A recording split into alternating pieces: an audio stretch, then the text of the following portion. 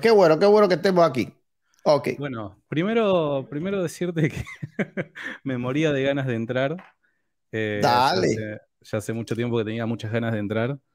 Eh, ahora te soy honesto, estaba tirado en la cama, me, mandaron un mensaje y me pasaron el enlace de la transmisión que estabas haciendo y me, sumí un ratito ahí a ver y, te soy honesto, a ver, no me pareció para nada bueno tu, tu argumento y me gustaría poder eh, charlarlo. Eh, claro. Así que, bueno, nada, eso. Eh, si podrías repetir, si a vos te parece, a ver, mi, respuesta al video que vos estás reproduciendo, Eduardo, es en base al pedido que vos hacés, ¿no? Vos, dijiste, bueno, me gustaría que presentes una sola tradición oral respecto a Jesús que haya permanecido en los documentos más antiguos de la iglesia. Básicamente fue eso, la, la petición y yo te traje algunos de ellos. ¿Podrías repetirme la, objeción que me estás planteando respecto a Primera de Clemente, por favor? Ok, te lo repito, claro. Dale. A ver, eh, mi objeción es, es esta. Eh, yo creo que tú eh, te equivocas en, en definir qué son las palabras de Cristo. Porque tú ves al parecer, es lo que yo detecto, las palabras de Cristo como lo que Él dijo cuando estaba eh, en su ministerio terrenal, es decir, eh, de tres años. Y luego entonces lo que habla, lo que él le reveló a los apóstoles no son palabras de Cristo. Por lo tanto, cuando alguien eh, habla acerca de las divisiones o de los problemas que iban a haber entre los obispos y la necesidad de nombrar obispos y sucesores de ellos, para ti eso es algo completamente paralelo a Cristo y sigue entender que lo que dijeron los apóstoles también es palabra de Cristo. El propio apóstol Pablo dijo en Gálatas capítulo 1, verso 5, que lo que él había recibido no lo había recibido de hombre alguno, por lo tanto no vino a través de una tradición. Y miren que él eh, citó literalmente las palabras de Cristo ahí en en la primera de los Corintios, cuando la Santa Cena, y recita literalmente lo que Cristo dijo. Por lo tanto, él tenía un conocimiento, una revelación fuertísima de las palabras de Cristo y esto no le vino por tradición oral. Entonces, es mi objeción primera. Cuando tú mencionas lo que dice Clemente, yo te pregunto, ¿De dónde Clemente sacó eso? Lo pudo haber sacado de dos lugares. Número uno, una tradición oral, que es lo que tú argumentas. Y número dos, la escritura, porque la escritura dice claramente que va a existir este problema y lo dice por boca del apóstol Pablo. ¿Cuál tú crees que fue la fuente que usó Clemente? ¿La tradición oral o los mismos apóstoles en la escritura. Si vemos que Clemente une la problemática del nombramiento con la problemática de la necesidad de suceder unos a otros, yo eso lo veo claramente en, eh, en lo que Pablo dejó a tanto a Timoteo como a Tito. Así que yo no veo algo paralelo, yo veo algo completamente continuativo, como mismo tú pudieras decir acerca de, en este tiempo, acerca de las palabras de Cristo, y esto no te vinieron por tradición oral, te vinieron simplemente porque tú lo leíste en la escritura. Ese es mi argumento. Bien. Mi objeción, perdón. Tu, objeción. Bien, buenísimo. Bueno, primero, no me parece justificado el hecho de pensar que las palabras de Cristo necesariamente son lo que vos estás diciendo en el contexto en el que es presentado, Eduardo. Em, a ver, Pablo marcaba una clara diferencia, hacía una clara distinción entre lo que era la tradición y lo que era la revelación. Cuando vos apelás a, Gálatas, haciendo referencia a la revelación que recibe Pablo, Pablo está hablando del Evangelio, ¿está bien? Que luego lo podemos ver a esto manifiesto en Hechos capítulo 15, cuando Pablo, después de una discusión con los judaizantes, se dirige a Jerusalén para que los altos mandos de la iglesia primitiva puedan evaluar quién es que tenía razón. Y Pablo básicamente está, está, ah, está moviéndose en respuesta a lo que recibe evidentemente por revelación, que es el Evangelio, pero eso no es lo único que Pablo recibe o la única vía que recibe de información respecto al ministerio de Jesús. Evidentemente Pablo también recibió una tradición oral eh, y recibió información histórica respecto al ministerio histórico de Jesús.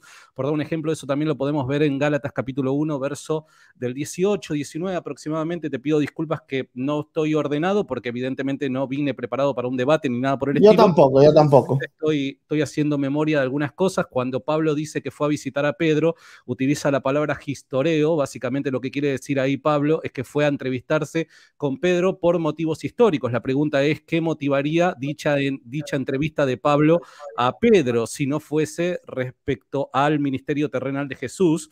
Eh, así que evidentemente Pablo tenía otras fuentes de información y no únicamente se valía de la revelación dada por eh, Jesucristo de forma especial, que yo no niego que la tuvo, evidentemente la tuvo, pero podemos ver en diferentes epístolas de Pablo que hay veces que hace referencia a esta tradición que recibe. Por dar un ejemplo, una que vos nombraste, primera de Corintios capítulo 11, cuando habla de la cena, evidentemente está haciendo referencia a una tradición oral antigua a él, recibida por él. Y por otro lado, eh, primera de Corintios capítulo 15, el as que tenemos bajo la manga todos los cristianos a la hora de demostrar la resurrección de Jesús es una tradición oral aún eh, anterior aún al propio ministerio de Pablo, y eso no lo podés negar, no lo vas a negar, creo, de hecho vamos a estar de acuerdo con esto. Entonces, evidentemente Pablo enseñaba tradición oral para ese entonces, no una tradición oral que recibiese él de forma especial del cielo, dada por un éxtasis o algo por el estilo, de la forma en la que vos lo estás planteando, dado que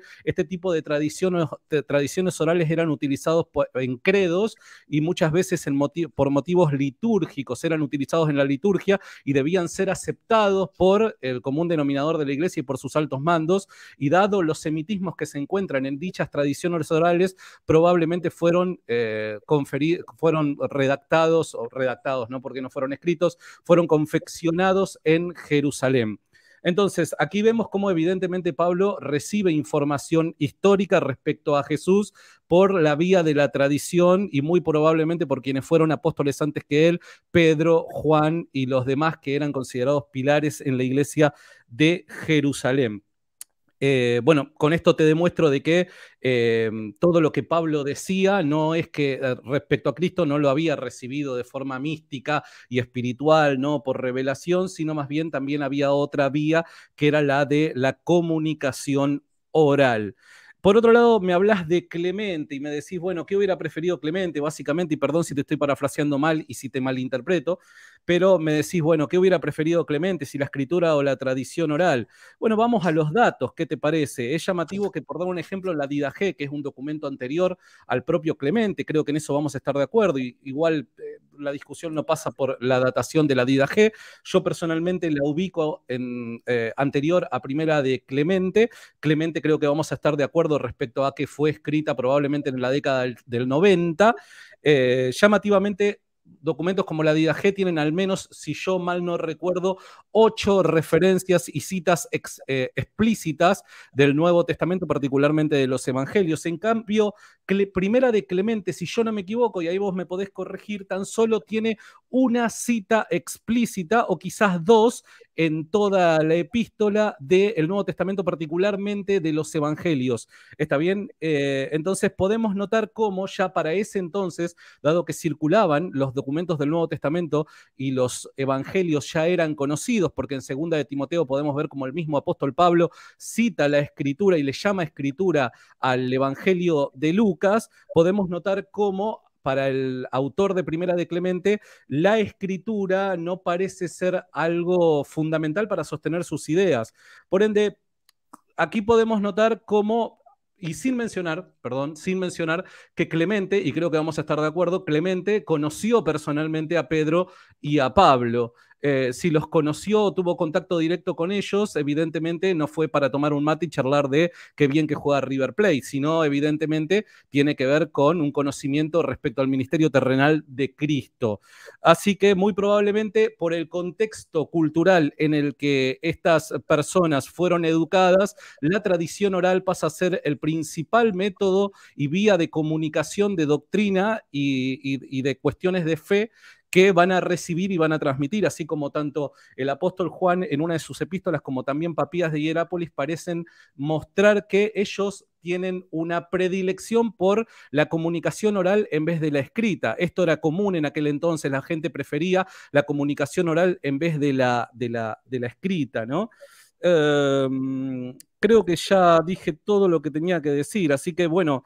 Eh, ah, y por último, por último, esta, esta te soy honesto, quizás estoy un poco sesgado, puede ser, no lo sé, o quizás el sesgado sos vos. Esta explicación que das haciendo referencia a esa discusión entre los discípulos de Jesús eh, y Jesús para conectar de alguna manera esta idea de eh, Jesús enseñando sobre futuras, futuros conflictos en los cargos de obispos, te soy honesto, no me parece que haya una justificación, me parece más eisegesis que una sana exégesis lo que estás haciendo. Sí, me podés ver así, pero evidentemente me parece que es una eisegesis y los autores del Nuevo Testamento, los apóstoles, tenían muy en claro qué era citar a Jesús y qué era eh, ellos utilizar la autoridad que tenía como apóstoles para que sus directrices, sus mandatos sean considerados como mandatos del Señor. ¿no? Había una clara distinción entre ellos. Así que bueno, nada, esos son mis puntos para, responder a tu, a tu supuesta refutación. Ok, a ver. Eh, bien. Eh, tú me dices que lo que ah, Pablo habla. disculpa por la, por la interrupción. La gente, no estoy tomando bebida, no me aparté al mundo ni nada. Esto es un energizante nada más, porque si no me caigo de sueño. Perdón por la interrupción, te dejo. Claro, no, no, no, no, hay, no hay problema, no hay problema. Ahí, espero que Monster no te esté pagando para la publicidad. No, solo bromeo. No, no. Ok, mira. Monster, Monster, es enviado del Vaticano, acá me lo, me lo, me lo pasaron, me lo enviaron del Vaticano. Sí, sí, yo me imagino. Ok, a ver. Dice Gálatas capítulo 1, verso 2. Pues yo ni lo recibí ni lo aprendí de hombre alguno, sino por revelación de Jesucristo. Ahora, ¿qué es lo que tú dices? Que esto Pablo se estaba refiriendo a lo que es el Evangelio solamente. Está hablando de teología, Pablo, ahí. Ok, espérate, dame mi tiempo ahora, no me, no me interrumpa, ok. Eh, según tú, Pablo está hablando solamente de lo que es el Evangelio y no de la doctrina. No, esto es imposible. No, teología, te estoy eh, diciendo. Teología. Sí, pero, pero no me interrumpa, Santiago, por favor. Lo que pasa es que estás poniendo palabras en mi boca que yo no dije. Teología. Ok, a ver, a ver, entonces, para, eh, para em, certificar lo que tú dijiste, ¿podrías repetir específicamente ese punto? Sí, claro. Cuando Pablo habla de que él recibió el Evangelio por revelación, está hablando de teología, que evidentemente eso luego se fundamentará como doctrina, doctrina cristiana primitiva, pero es teología, ¿está bien? Ya. Ok. Ok, vamos allá. Eh, según tú, entonces, lo que Pablo está eh, diciendo que le fue transmitido por Jesucristo simplemente es un estudio de Dios y no es una revelación exacta. No, Santiago, por favor, no interrumpa más porque te metes más en problemas. Porque la teología simplemente es el estudio de algo, en este caso de Dios. Aquí no se habla de teología. Ok, ahora podemos ver el Nuevo Testamento como teología porque nos brinda a nosotros un estudio, pero Pablo no estaba recibiendo teología. ¿Cómo, cómo, cómo Jesús le estaba dando un estudio a Pablo sobre no? Jesús le estaba dando revelación. Ahora dice aquí claramente, dice, eh, más os hago saber, hermano, que el evangelio anunciado por mí no es según hombre, pues ni lo recibí ni lo aprendí de hombre alguno, sino por revelación de Jesucristo. Ahora, ¿De qué evangelio Pablo estaba hablando? Pablo no podía estar hablando solamente del evangelio en bruto, llamémoslo de esta forma, es decir, la muerte y resurrección de Cristo, porque esto ya se sabía. Cuando Pablo llegó al evangelio, ya esto era conocimiento de la iglesia. Pablo tenía que estar hablando de aspectos, usar tus palabras ya, que nosotros lo tomamos como teológico, que es lo que ya es la doctrina cristiana. Cuando Pablo habla en Gálatas capítulo 1, verso 8 y 9, que el que predique otro evangelio está diciendo otras doctrinas. ¿Ok? Eh, Pablo está hablando específicamente de doctrinas.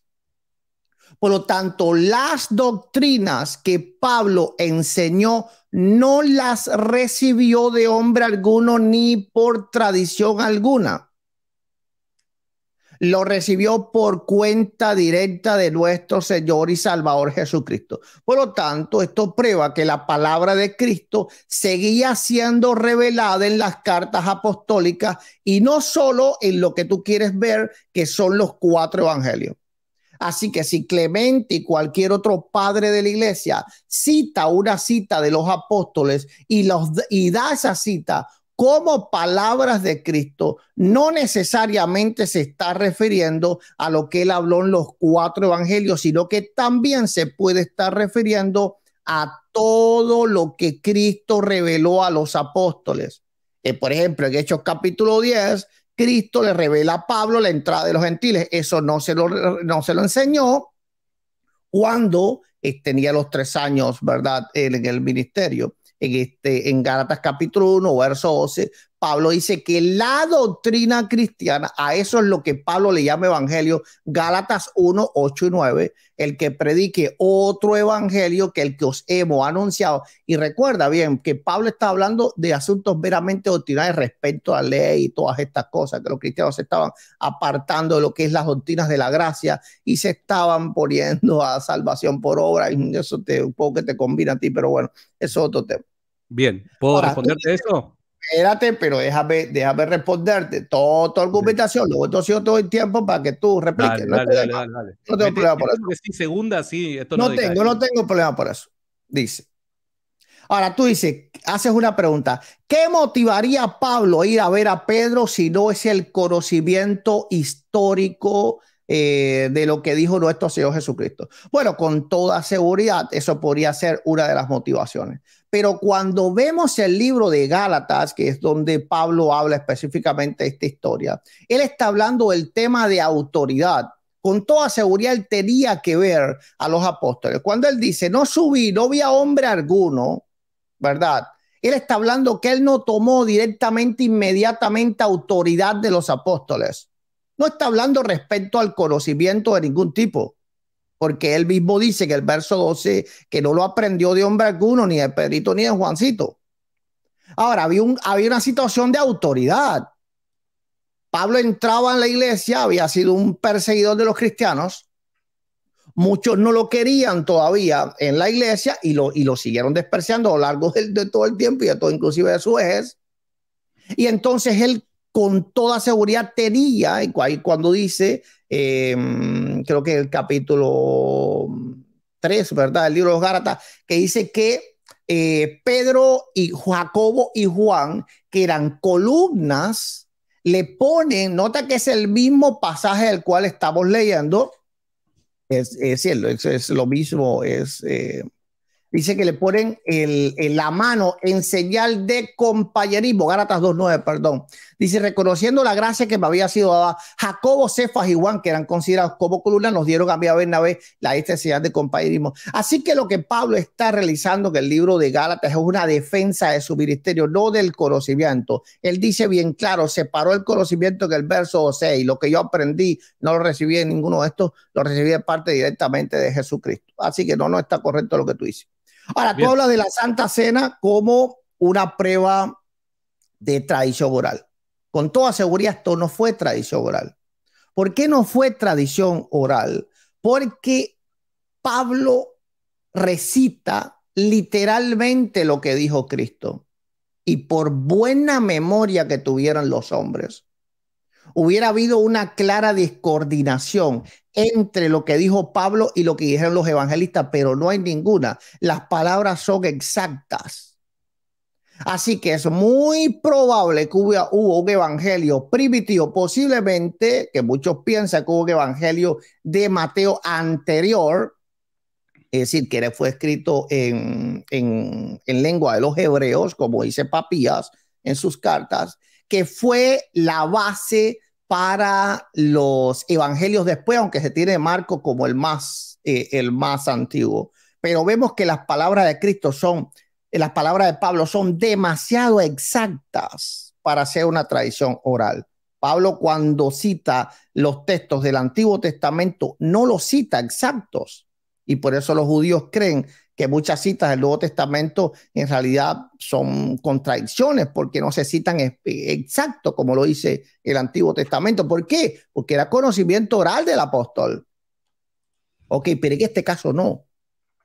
En este caso es algo literal. Entonces tú tienes que probar de qué forma podía haber sido eso una tradición oral tan exacta. No, eso fue una revelación o un evangelio anterior a este. Recuerda que Lucas capítulo 1 cuando él escribe, dice, muchos han tratado de poner en orden la historia. Así que había muchos escritos, no solo tradición oral, habían escritos, muchísimos, varios escritos sobre las palabras de Cristo. Pudo haber existido un evangelio de Mateo anterior allá la copia en griego que nosotros tenemos, pero eso es otro, eso es otro tema. Ahora, lo que más yo me baso es lo que dice eh, Pablo en Galatas 1.12, que él lo recibió de Jesucristo. De la única forma que sería ¿verdad? Y te pongo el otro evangelio para darte un, medio racionalista de entender las cosas.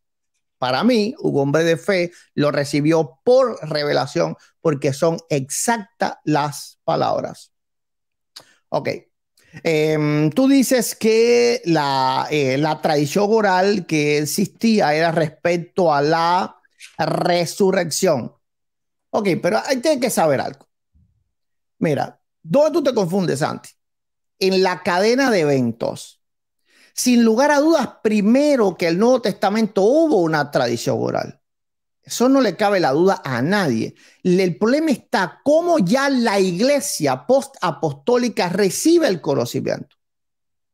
Si ahora tú te enseña tu profesor de teología, en ese momento tú estás aprendiendo una tradición oral, tú estás en una clase, pero si luego tú escribes un libro y tú lo publicas y el libro se hace famoso y el mundo entero aprende lo que tú sabes, como el mundo entero aprendió lo que tú sabes, no fue por tradición oral. Entonces aquí nosotros estamos debatiendo, discutiendo, conversando, no respecto a cómo los apóstoles adquirieron el conocimiento, sino cómo la iglesia lo adquirió. Y tú te saltas un paso enorme que se llaman 27 libros donde la tradición oral o revelación, en el caso de Pablo, que recibieron los apóstoles, estos la plasmaron. Eso es lo que estamos nosotros conversando, ya casi voy a terminar. Ok, tú hablas de que Clemente conocía a Pablo y eso le hacía ser eh, tenedor de una, eh, de una tradición oral. No necesariamente. Los corintios conocían a Pablo también, pero necesitaron las cartas. Los efesios conocían a Pablo, pero necesitaron las cartas. ¿Por qué razón?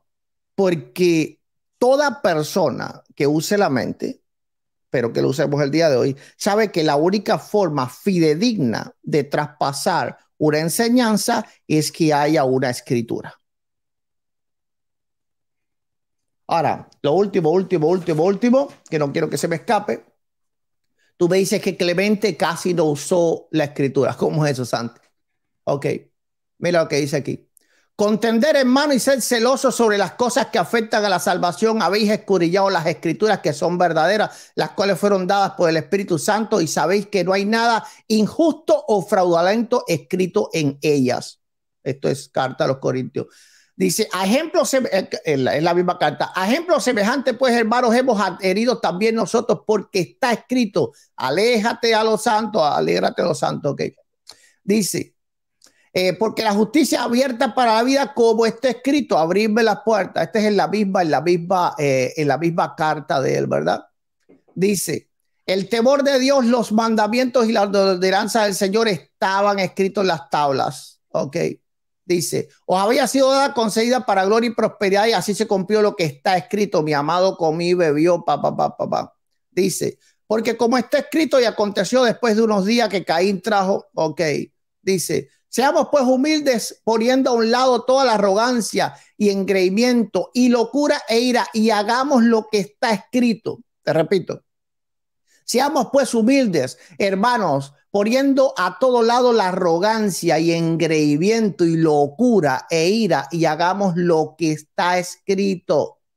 ¿Ok?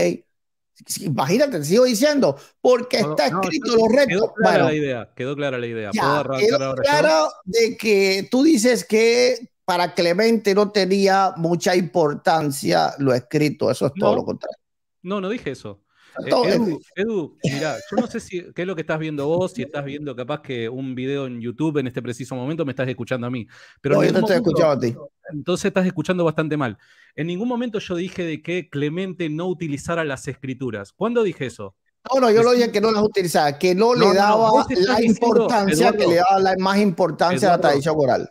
Eduardo, dijiste que había solamente dos textos, creo. Eduardo, no, no, no, no, no, no, no cambies mis palabras. Yo en ningún momento dije de que Clemente no usara las escrituras. Yo lo que te dije, Eduardo, es que para el tiempo en el que Clemente escribió su epístola a los Corintios, ya circulaban los evangelios y habían epístolas del Nuevo Testamento que evidentemente ya circulaban. Y yo te dije que había una o posiblemente dos citas del Nuevo Testamento y particularmente de los evangelios. Yo no dije la escritura en su totalidad en, haciendo referencia al Antiguo Testamento. Y déjame entender que si estamos hablando de la sola escritura, no solo los evangelios, no, solo es el Nuevo Testamento. Lo que estamos acá discutiendo es si lo que Clemente, lo que estamos acá discutiendo es si lo que Clemente conoce de Jesús lo recibió por escrito o por tradición oral. Eso es lo que estamos discutiendo, Eduardo. Y lo que yo te dije fue que Clemente no utiliza los evangelios para hacer referencias a Jesús, que no tiene esa costumbre y que solamente hay una o dos oportunidades donde utiliza el Nuevo Testamento, particularmente los evangelios. Yo jamás dije la, la escritura haciendo referencia al Antiguo Testamento. Es evidente que utilizaban los textos del Antiguo Testamento, pero no pongas en mi boca palabras que yo no he dicho, porque eso es una falacia y eso es tratar de confundir a la gente. Primero, eso, eso lo quiero decir no he tratado de confundir a nadie. Yo explico cuando venga. ¿Sabes por qué? Porque estás, estás, estás distorsionando mi argumento, Eduardo, y eso se llama sofisma. Estás haciendo. No, eso no es sofisma. Sofismo. Estás haciendo. Dale, dale, argumenta, yo te escucho, dale. No, no, es que estoy argumentando, pero parece que no le estoy hablando a nadie porque te entra por un oído y te sale por el otro. Por otro lado, eh, respecto, a ver, hay un montón de cosas para, para aclarar. Respecto a la tradición oral, vos estás, eh, me, me decís de que, dado que Pablo cita muy bien y detenido, eh, con, rigurosidad, las palabras de Jesús, eso no pudo haber sido tradición oral, sino que tuvo que haberse basado en lo que estaba escrito. Eh, eh, o revelado, te dije. bueno, está, bien. Ah, antes de ir para ese punto, mira, me hiciste acordar de algo. Tus argumentos principalmente se sostienen en dos afirmaciones. La primera, se puede estar refiriendo a otra cosa. Tu argumento fue, se puede estar refiriendo a otra cosa. Y por otro lado, vos dijiste. no, ese no fue mi argumento. La gente, la gente que luego vea este video. Exacto. ahora, ahora como yo te permití, como yo te permití replantear tu argumento. Bien, entonces, ahora responder a mí. Bien. La gente que está este recuerda que yo te permití replantear tu argumento, ¿verdad? Entonces ahora te voy a replantear el video para que tú lo entiendas bien. Y no lo tuerzas. Este video, la gente que está viendo No, no, no, salte, salte, a la cosa honestamente, por favor. Cuando te encuentro en falacias, te pido que no me interrumpas. Santi, tú me este interrumpiste, mira, tú me interrumpiste, yo te permití, como no te había entendido, según tú, te dije, ok, para no interpretarte mal, replantea el argumento. Así que si tú no me entendiste, yo te lo voy a decir muy claro ahora. Nuevamente, no, no hace falta, yo te entendí muy bien. ¿Cómo que no? Entonces, si no hace falta, no digas entonces, si no hace falta, lo digan ¿Me vas a dejar hablar? ¿Me vas a dejar hablar?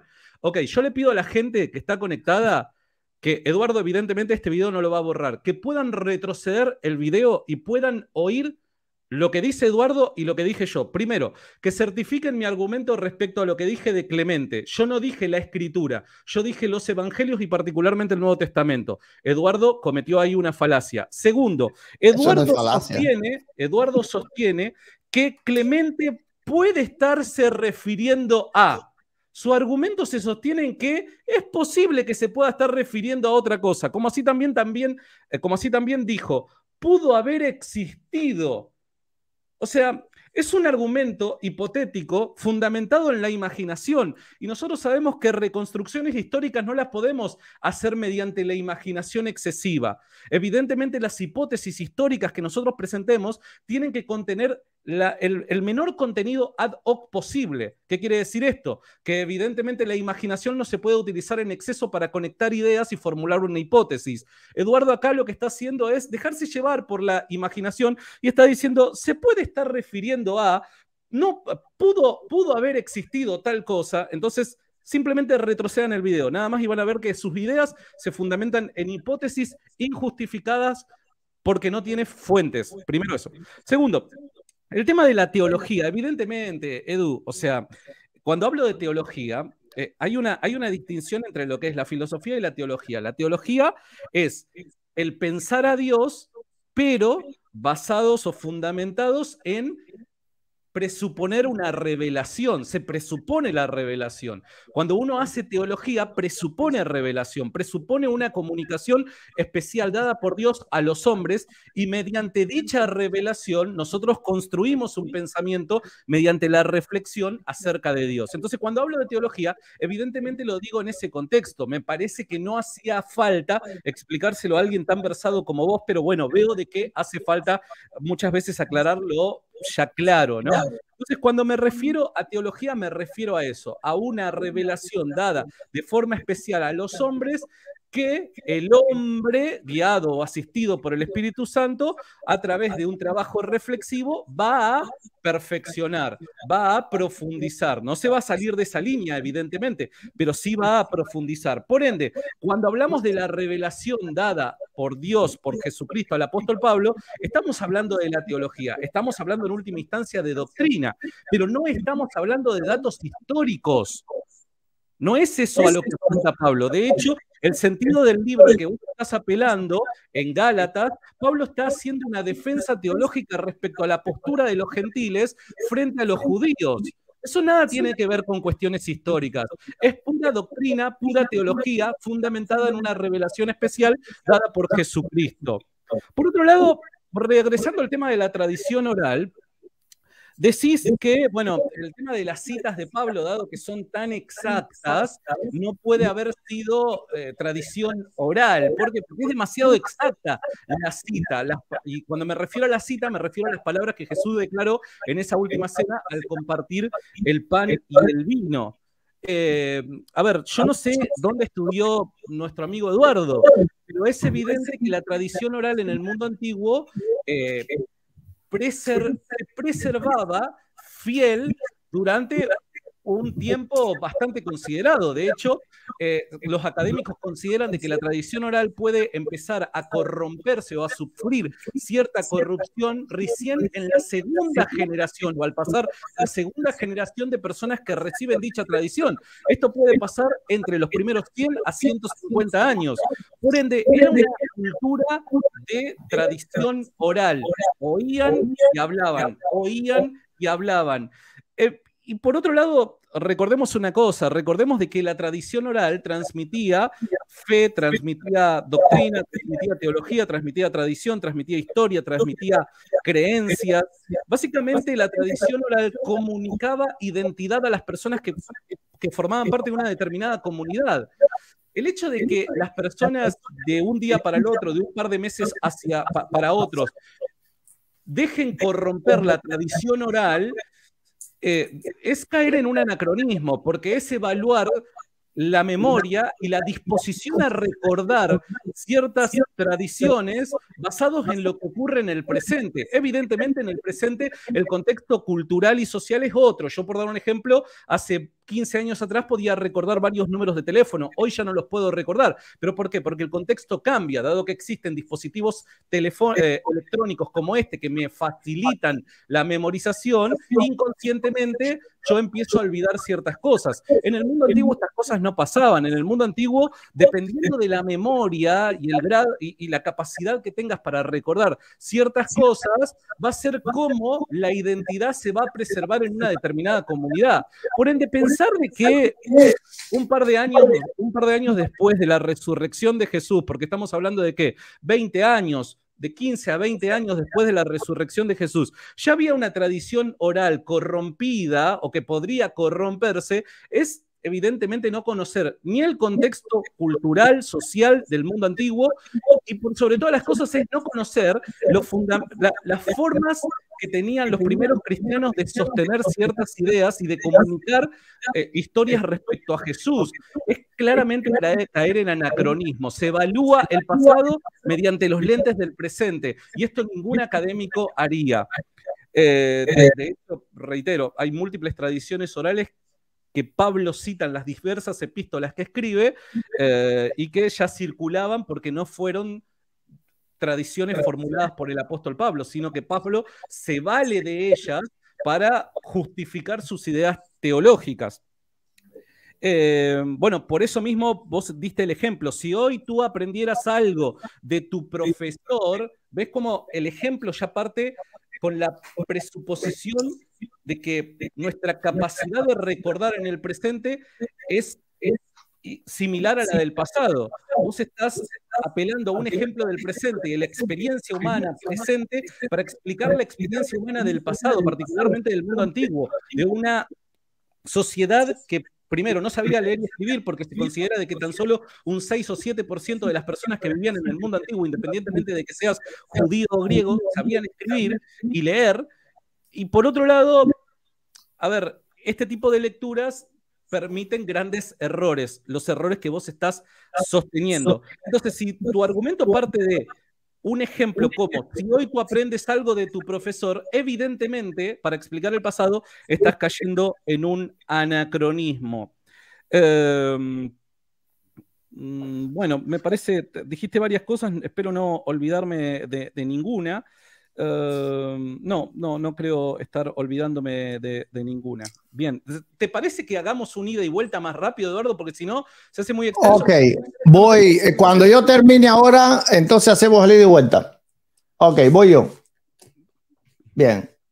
Eh, tú tienes un problema en, confundir lo que es tradición con revelación, porque Pablo dice bien claro, Pablo dice muy claro, y tú estás torciendo las escrituras, que lo que él enseña no lo recibió de hombre alguno. ¿Ok? Entonces tú tendrías que eh, explicar por qué Pablo dice, pues yo ni lo recibí ni lo aprendí. Nota que hay dos cuestiones, recibir y aprender. ¿De qué está hablando Pablo ahí en Galatas?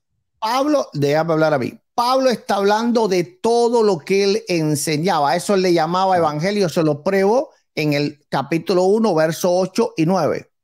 Pablo está hablando de teología. Que predique otro evangelio, que el que os hemos anunciado sea anatema. Ok, y Pablo con toda seguridad está predicando sobre las doctrinas de la gracia y el peligro de apartarse de las doctrinas de la gracia. A eso Pablo le llama otro evangelio diferente. Esto es textual y literal. Esto no es lo que dice el pastor Eduardo. Esto es lo que quiere torcer. Déjame hablar. Esto es, solo, esto es solo lo que quiere torcer Santiago Larcón. Estoy de acuerdo. Porque la Biblia dice claramente, la Biblia dice claramente, pues yo ni lo recibí ni lo aprendí de hombre alguno. Doctrina. Ahora, ahora, ahora, ahora, ahora, no me interrumpa, Santi, no me interrumpa, no tengas temor, por favor, yo espero. ¿Qué es lo que dice? Pues yo ni lo recibí, así que nadie se lo dio a él. La doctrina. Ni lo aprendí, ni lo aprendí, nadie se lo explicó o enseñó a él. La doctrina, ahora, exacto. Hablando, ahora, Santi, déjame hablar, no tengas temor, por favor, tranquilo. No, temor no, solamente te acomodo las ideas. cálmate, Santiago, cálmate, cálmate. Tómate, tómate un, un mate. Un monster. Este, este lo que pasa lo que este, este dice, loco, exacto, no te tendría que haber tomado el monster, tómate un mate. Eh, lo que pasa es que yo pensé que quizás se me iba a ser más difícil. ¿Me vas a dejar hablar o no? ¿Me vas a dejar hablar o no?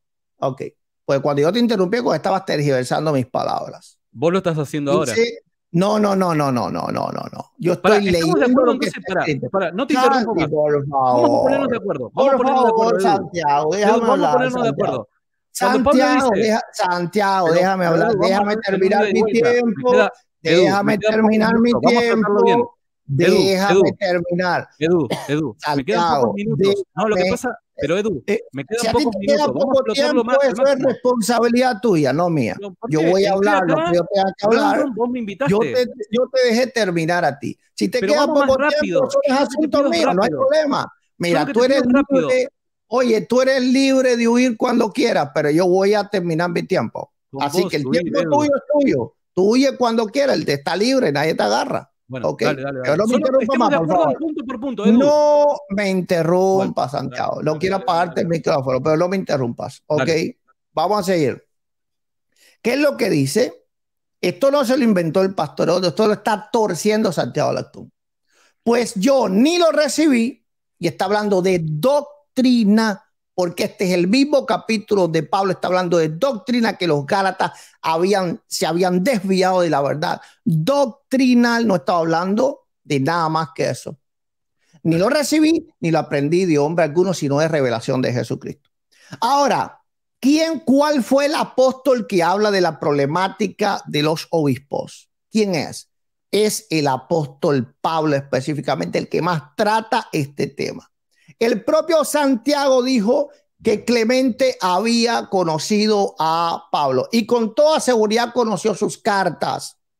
Así que ¿de dónde Clemente? ¿Cuál es la única fuente que se puede constatar que Clemente sacó esa información?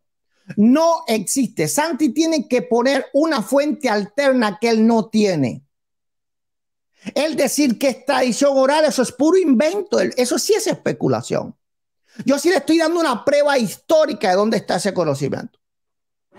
Si alguien en la historia dijo tal cosa y se encuentra una fuente histórica anterior a ese alguien que trae ese conocimiento, lo más razonable, honesto es citar esa fuente, que es donde se sabe con toda seguridad que existía ese conocimiento de antemano que hace que esa persona lo haya planteado.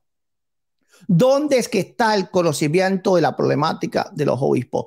¿Dónde es que está? ¿Dónde podemos ir en la historia y podemos constatar ese documento y lo podemos enseñar? ¿Dónde? En las cartas del apóstol Pablo. Ahora, ¿el apóstol Pablo recibió esa enseñanza de parte de una tradición oral? No, él dice que no. Gálatas 1.12. Ahora seguimos y continuamos. Bien, vamos, vamos. Oye, oye, oye, oye, la gente está escuchando, por favor. Él dice, no, no, no, no, vamos más rápido. Santiago, Santiago, Santiago, Santiago. Vamos más rápido. Vamos más rápido, lo único que te pido. Santiago, yo no te apuro a ti, Santiago. Yo no te apuro. ¿Ok? Yo no te apuro. Tú no tienes paciencia. Edu, Santiago, si no tienes paciencia, si no tienes paciencia, ten fruto del Espíritu Santo me tengo que ir. él me dice a mí, quiero hacerlo más rápido, él nada me más. Dice, él me dice a mí, me dice a mí, ok, ten paciencia, me dice a mí, que yo me estoy sacando cosas de la imaginación porque yo solamente estoy especulando. No, yo no estoy especulando. Yo le dije, como tú eres un racionalista, yo te voy a dar un argumento racional, pero el mío es la revelación. Vayan atrás para que vean cuál fue mi argumento respecto al apóstol Pablo. ¿Y qué es lo que él dice? Que yo estoy tratando de decir, no, tal vez es posible que lo haya sacado de otra manera. No, yo te di ese, ese argumento racionalista y te lo advertí. Te doy este porque tú eres un racionalista, yo no. Yo soy un hombre de fe y yo creo que lo recibió por revelación. Eso fue lo que yo te dije. Ok, entonces, ¿quién está torciendo y quién está levantando falacia aquí? Yo no soy, es él el que lo está haciendo, pero después repasen. Él dice que cuando él hace teología, uno está pensando que está que habiendo una revelación. No, Pablo no estaba pensando que había una revelación. Pablo estaba consciente que había una revelación. Él no estaba ni teologando ni filosofiando él estaba recibiendo una revelación. Ahora, como hombre judío, él sabía muy bien que la revelación tenía que ser transmitida muy exactamente, porque la escritura dice bien claro que el que diga que a Dios dijo algo y no dijo, el tal debe de morir. Pablo no era, no era Santiago Alarcón. Pablo sabía que lo que él decía, cuando él decía que algo era revelado, tenía que ser muy, muy, muy exacto y no a través de una simple tradición oral. Ahora, él dice que cómo va a haber una tradición corrompida. Pero ¿qué es esto, Santi? Si había un montón de evangelios y eso Lucas lo deja bien claro en el capítulo 1 desde el verso 1 puesto que muchos han tratado de poner en orden las cosas. Así que había una inmensa tradición corrompida en ese tiempo y por eso Lucas intenta poner en orden las cosas. Claro, ¿cuál es la diferencia de Lucas? Lucas está escribiendo inspirado por Dios. Esa es la diferencia entre tradición, el problema que veía Lucas, y la escritura de Lucas. La tradición que Santi quiere es un desorden y muchos tratan de ponerle en orden. Pero la escritura es lo que Lucas escribe y por eso entonces lo está escribiendo fielmente y por eso la iglesia ha sido creyendo, no en lo que había antes que Lucas, que lo habían tratado de poner en orden, sino a lo que escribió Lucas, que era inspirado por Dios. Él dice que yo estoy hablando de un anacronismo cuando eh, pongo el orden las cosas. No, él es el que está lanzando una falacia de anacronismo. ¿Por qué? Porque él está tratando de decir que la tradición existe porque los apóstoles recibieron las primeras enseñanzas ellos como una tradición oral, puesto que Jesús se la enseñó. No, nosotros no estamos aquí debatiendo cómo los apóstoles recibieron la enseñanza, sino cómo la iglesia post-apostólica porque incluso se le llama tradición apostólica, así que comienza a partir de ellos, no se le llama la tradición de Cristo, tú eres el que estás cometiendo anacronismo, porque tú estás llevando la tradición a Cristo cuando Cristo se las dijo ahí oralmente, pero eso no es tradición, es tradición apostólica, por lo tanto comienza a partir de los apóstoles. Y a partir de los apóstoles, ¿cómo fue que ellos transmitieron la enseñanza a través de 27 libros. Bueno, quitemos los cuatro de los evangelios, ¿ok? Y el resto, esos son mis argumentos. Ahora, sobre lo de la carta de Clemente, sobre la carta de Clemente, cuando tú dices que Clemente no se refirió al Nuevo Testamento, tú lo estás como demeritando el peso que Clemente le daba a las escrituras porque el Nuevo Testamento es parte de las escrituras. Cuando yo te probé que Clemente mencionaba una y otra y otra y otra y otra vez las escrituras, no te estaba eh, diciendo que entonces por él mencionar el Antiguo Testamento, y entonces no hay problema por no haber mencionado el Nuevo Testamento, sino más bien te di el argumento para hacerte entender de que la fe de Clemente se basaba más en lo que está escrito que en lo que él simplemente había escuchado. Eso fue mi argumento, no hablar si era nuevo o antiguo testamento de ninguna forma. Ok, ahora te escucho. Ahora eh, tú dices que quieres... Eh, eh, Vamos más rápido para explotar mejor el tiempo porque en unos minutos, de verdad, me tengo que ir. Esto fue muy random. entonces, ¿qué te parece cinco minutos y cinco minutos? No, no, no, minutos y minutos no. Yo te respondo, te tiro una, vos me respondés, me tirás una en un minuto. Dale, vamos. ¿Qué te parece preguntas y respuestas y ya? Bien, vos me decís que Lucas capítulo 1 habla de tradiciones corrompidas. Lo raro es que hoy sabemos que Lucas utiliza como uno de los principales testimonios a Marcos. La pregunta es, ¿crees que Marcos era una tradición corrompida, dado que Lucas lo utiliza a Marcos? Por otro lado, eh, el hecho de que Lucas haya querido poner en orden, en orden, eh, lo, que se, lo, que otros trataron de hacer, eso no quiere decir de que las tradiciones hayan estado corrompidas, simplemente que haya tratado de ordenar las tradiciones respecto a Jesús de una forma, de una mejor forma, ¿no? Como alguien que está bien documentado y que trata de hacer una buena biografía. De hecho, sabemos de que el Evangelio de Lucas es el mejor científicamente hablando y en términos históricos el término científico. Por otro lado, eh, te pregunto, ¿no? Y digo, eh, si Clemente le, daba, le ponía tanta atención a la escritura como vos decís, que de hecho yo estoy de acuerdo con vos respecto al Antiguo Testamento, ¿por qué no cita más el Nuevo Testamento? ¿Cuántas citas del Nuevo Testamento en Primera de Clemente conoces, Eduardo? Te vas a hacer una, varias preguntas porque... Cierro la pregunta, cierro la pregunta y ya te dejo hablar.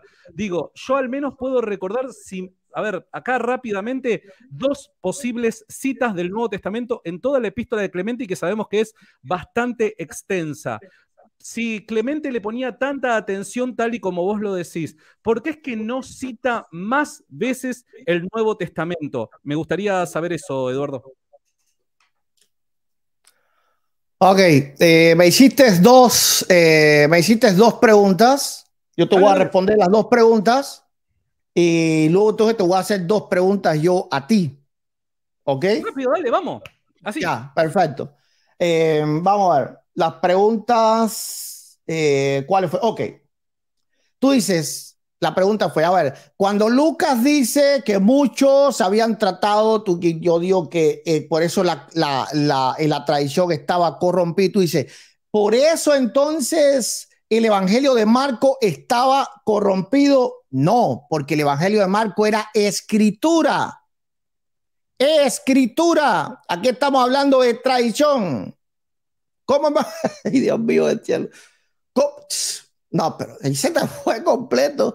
¿Cómo me vas a preguntar, Santiago, por el Evangelio de Marco? Por favor, pregúntame por el de María Magdalena, pregúntame por el de Tomás, pregúntame por todos los gnósticos, pregúntame por los evangelios simonianos, pregúntame por todos, por los judaizantes, pregúntame por los, eh, todo eso. Pero ¿cómo me vas a preguntar pues de Marco, por favor? Te, te fue ahí. Eh, ok. Eh, pues la otra pregunta es ridícula. ¿Por qué Clemente no mencionó el Nuevo Testamento? Bueno, porque él no estaba haciendo un estudio inductivo del Nuevo Testamento, simplemente le estaba escribiendo una carta con una problemática y más nada. Y la Biblia es un compendio completo, no es una parte de ella. Así que cuando alguien menciona el Nuevo Testamento o el Antiguo Testamento, igualmente está mencionando las escrituras y está basando su enseñanza o, o la corrección que le está dando en las escrituras. No tiene por qué, porque, ¿por qué no menciona Isaías? Entonces Isaías no es, eh, no es importante. O por qué no mencionó Éxodo, entonces Éxodo, y eso de cosas. Eh, no, eso fue ridículo. Ok, voy entonces a... Eh, bueno, eh, esquivando preguntas, eso es bueno a, a mí, no, pero, ok, vamos, vamos, eh, vámonos allá. Bien, a ver, cuando Pablo dice en Gálatas capítulo 1, verso 12, pues yo ni lo recibí, ni lo aprendí de hombre alguno, sino por revelación de Jesucristo. Entendiendo de que Pablo fue el hombre que trajo, según sus palabras, porque él mismo dice, conforme a mi evangelio, y cuando él habló conforme a mi evangelio, él se está refiriendo solamente aspectos de que mm, teológico, de que él pensaba que era revelación, no sabía o algo por el estilo, o él se estaba refiriendo a una revelación que él estaba completamente consciente de que cuando él decía que era revelación de Jesucristo, la tenía que transmitir exactamente como la había recibido, como revelación y no como un estudio de lo que él había recibido. Esa es la primera pregunta. Segunda pregunta. En Primera de Corintios, capítulo 11, en el verso 23, porque tú dices que esto es tradición, dice Pablo, porque yo recibí del Señor lo que también os he enseñado, que el Señor Jesús la noche que fue entregado tomó pan y habiendo dado gracias lo partió. Mi pregunta es la siguiente.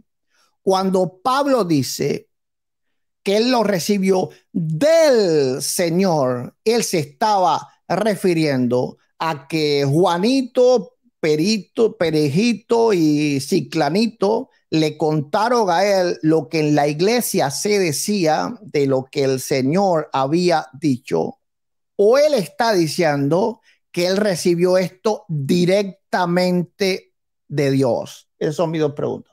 Bien, buenísimo. Eh, primero quiero señalar algo. Em, Lucas capítulo 1, vos decides que está haciendo referencia a tradición oral. No, pero no, no te defiendas, no, no, rápidamente, rápidamente. Santiago, por favor. La gente te está mirando, por favor, te están mirando. No, no, no. Un minuto. No, no, no, no, no, no, no, no, Santiago, no, sin trampas, no, sin Luis Toro, mira, no, mira. Oye, no te me conviertas en torito, por favor. Ya dijiste católico, pero no estabas toro. ¿Me, me dejas responder? Preguntas y respuestas.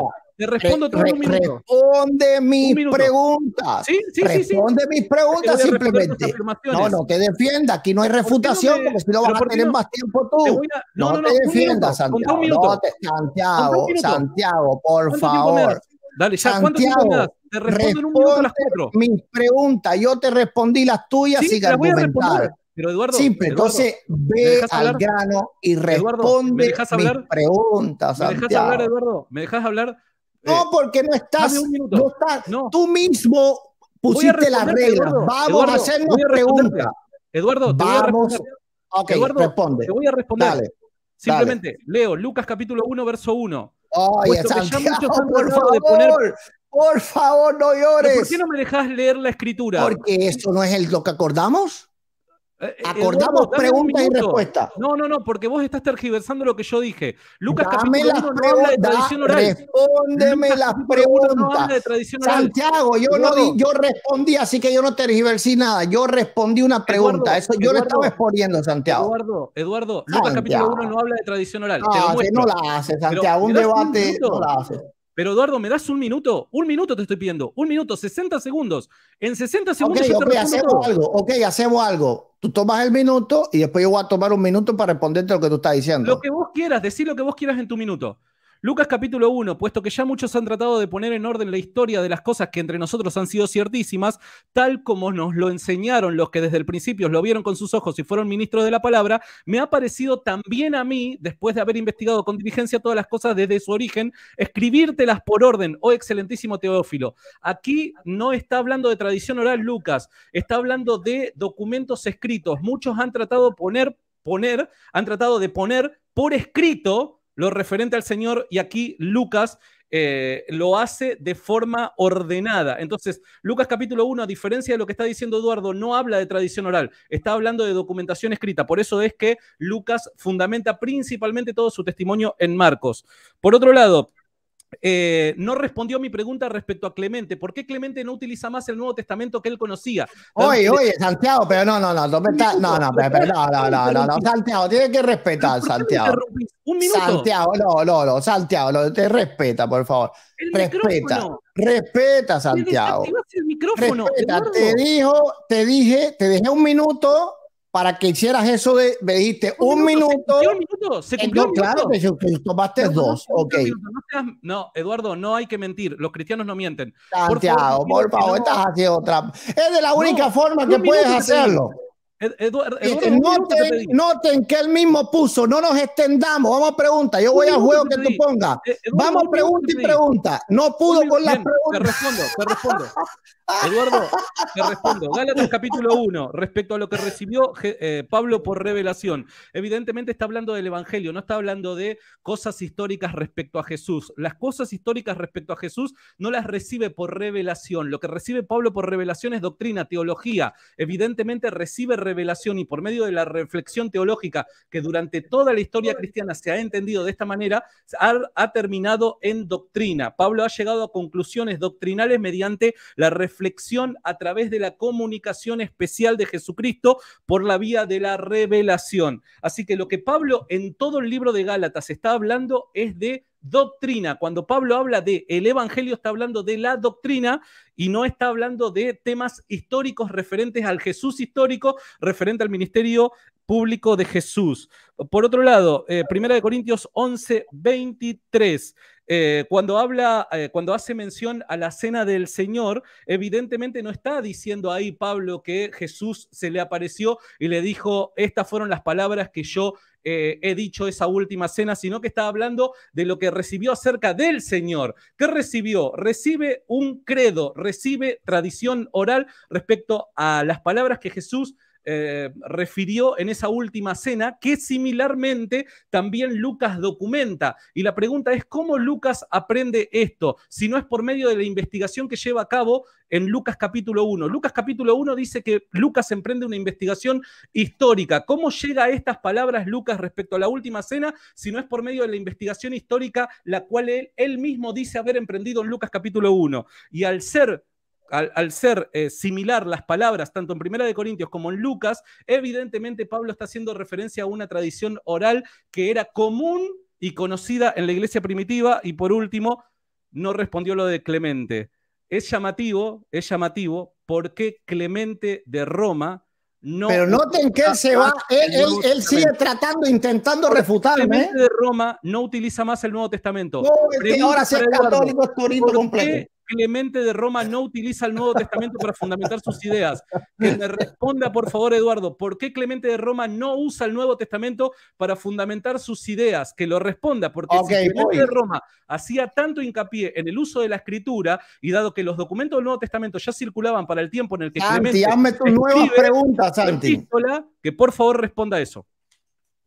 Ok, entonces voy a responder lo de. Primeramente, voy a tomar unos minutos para entonces responderte a ti, como vos tú lo hiciste, pero que no me interrumpas. Esto va a ser una. Esto va a ser completamente increíble.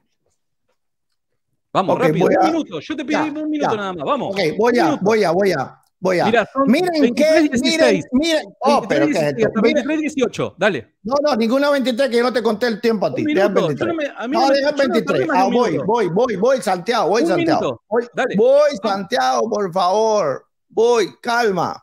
Tome poco tiempo que yo no te lo puse a ti. Él dijo, mira cómo torció la escritura, ¿eh? Él dijo que cuando Pablo dice, yo recibí del Señor, no fue que lo recibí, lo recibió del Señor, sino sobre el Señor. No, no, aquí no dice nada de eso, porque yo recibí del Señor, de Él. Lo recibió de Él. Que el Señor Jesús la noche que fue entregado, esto, fue una revelación directa. Y Él está diciendo que lo recibió de un tercero y que ese tercero su vez recibió del Señor. Eso es, eso es mentiras. Eso es falso. Pero escuche que Santi acabó de acabar con la tradición católica. Santiago dice que lo que Lucas dice que hecho en Lucas capítulo 1 no es tradición oral porque estaba en documento. Entonces, ningún documento de la Iglesia Católica se puede tomar como parte de la tradición oral católica. Es decir, Santiago acaba de, hacer desaparecer por arte de magia, por un conjuro papal, acaba de acabar con todos los dos mil años, porque los dos mil años donde único se ha conservado es en escritos. Así se han escrito los para iglesia, en cánones conciliares, en documentos papales, bulas papales, etcétera, etcétera, etcétera, contiendas teológicas, que todas y cada una de ellas, de alguna forma, fueron escritas para dejar constancia. Santiago acá.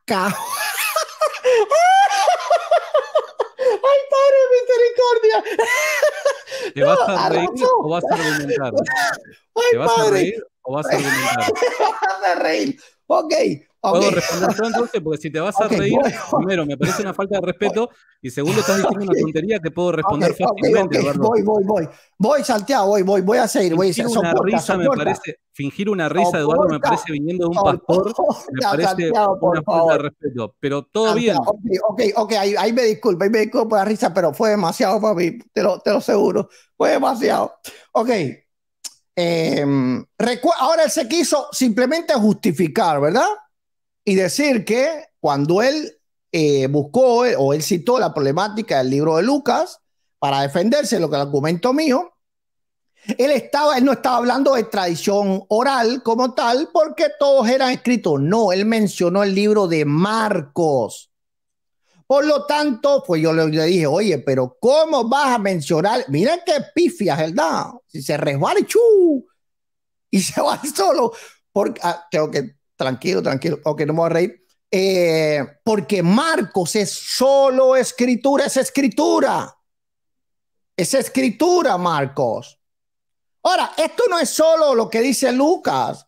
Había montones de evangelios gnósticos. Habían libros judaizantes. Habían montones, eso se sabe. Habían cartas, escritos espurios por donde quiera. Diferentes evangelios.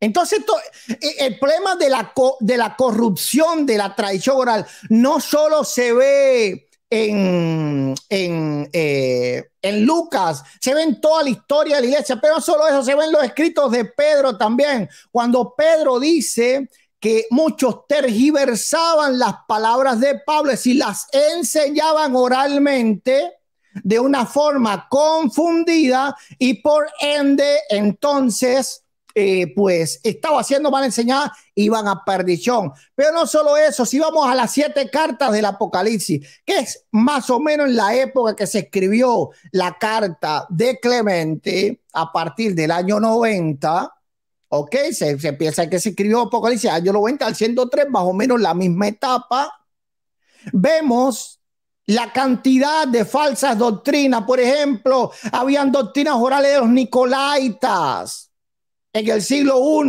los nicolaitas estaban ahí. Ni hablar de los simonianos, de los judaizantes.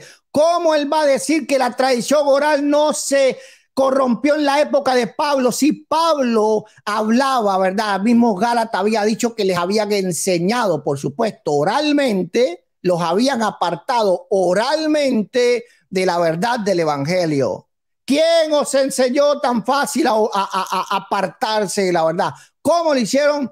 Oralmente lo hicieron, no lo hicieron por escrito, no lo hicieron con la palabra de Dios. ¿Cómo apartaron a los Gálatas? Oralmente los apartaron. Las confusiones doctrinales que tenían los corintios, ¿de dónde las sacaron? De la tradición oral, ese pentecostalismo que tanto a ti no te gusta de los corintios. ¿De dónde salió? ¿De dónde salió ese, ese pentecostalismo?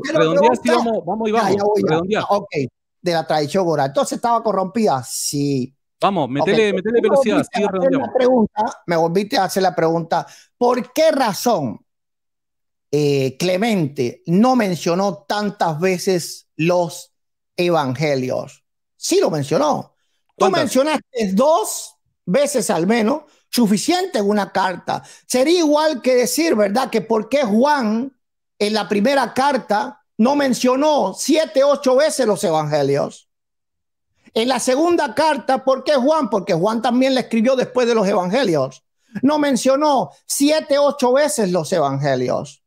En la tercera carta, ¿verdad? Sería igual que decir, ¿por qué Juan no mencionó 14 o 15 veces los evangelios? Porque no es una obligación mencionar 13 o 14 veces un libro en la Biblia. Si tú estás mencionando las escrituras, usted está cumplido, usted está sentándose lo que usted cree en la palabra de Dios y punto, ya. Bien. Bien, entonces te respondo. Primero, eh, primero de Clemente, respecto a... ahora me toca hacerte las preguntas yo a ti. Bueno, tú me preguntaste esa hora. Dale, pero metele velocidad, Edu, dale. Ok, métele velocidad. Vamos, es que las cosas, por eso te hiciste católica, hay que ir con calma. Ok. che, pará, pará. Primero, ¿de dónde sacaste que yo tengo odio a los pentecostales? A mí lo que más me gusta es los pentecostales. Yo me siento. no, no, yo sé, yo sé que el pentecostalismo, pentecostalismo te hizo mucho daño a ti con los profetas, no, no, te resentido. Mis mejores tiempos fue en el pentecostalismo. Pero un día conversamos sobre eso. Mi, mejor momento fue en el pentecostalismo, te lo quiero aclarar. sí, sí, ya veo, ya veo cómo has puesto los videos ahí. Eh, que eh, los videos de cuando tú eras profeta y esas cosas. Vamos a ver. Eso no es pentecostalismo. Segunda de Timoteo, lastimosamente la gente lo va así. Segunda de Timoteo, capítulo 2, dice: Tú, pues, hijo mío, esfuérzate en la gracia que es en Cristo Jesús. Lo que has oído de mí ante muchos testigos, esto encarga a hombres fieles que sean idóneos para enseñar también a otros. Aquí, sin duda, está hablando de eh, sucesión, ¿verdad? A lo mismo.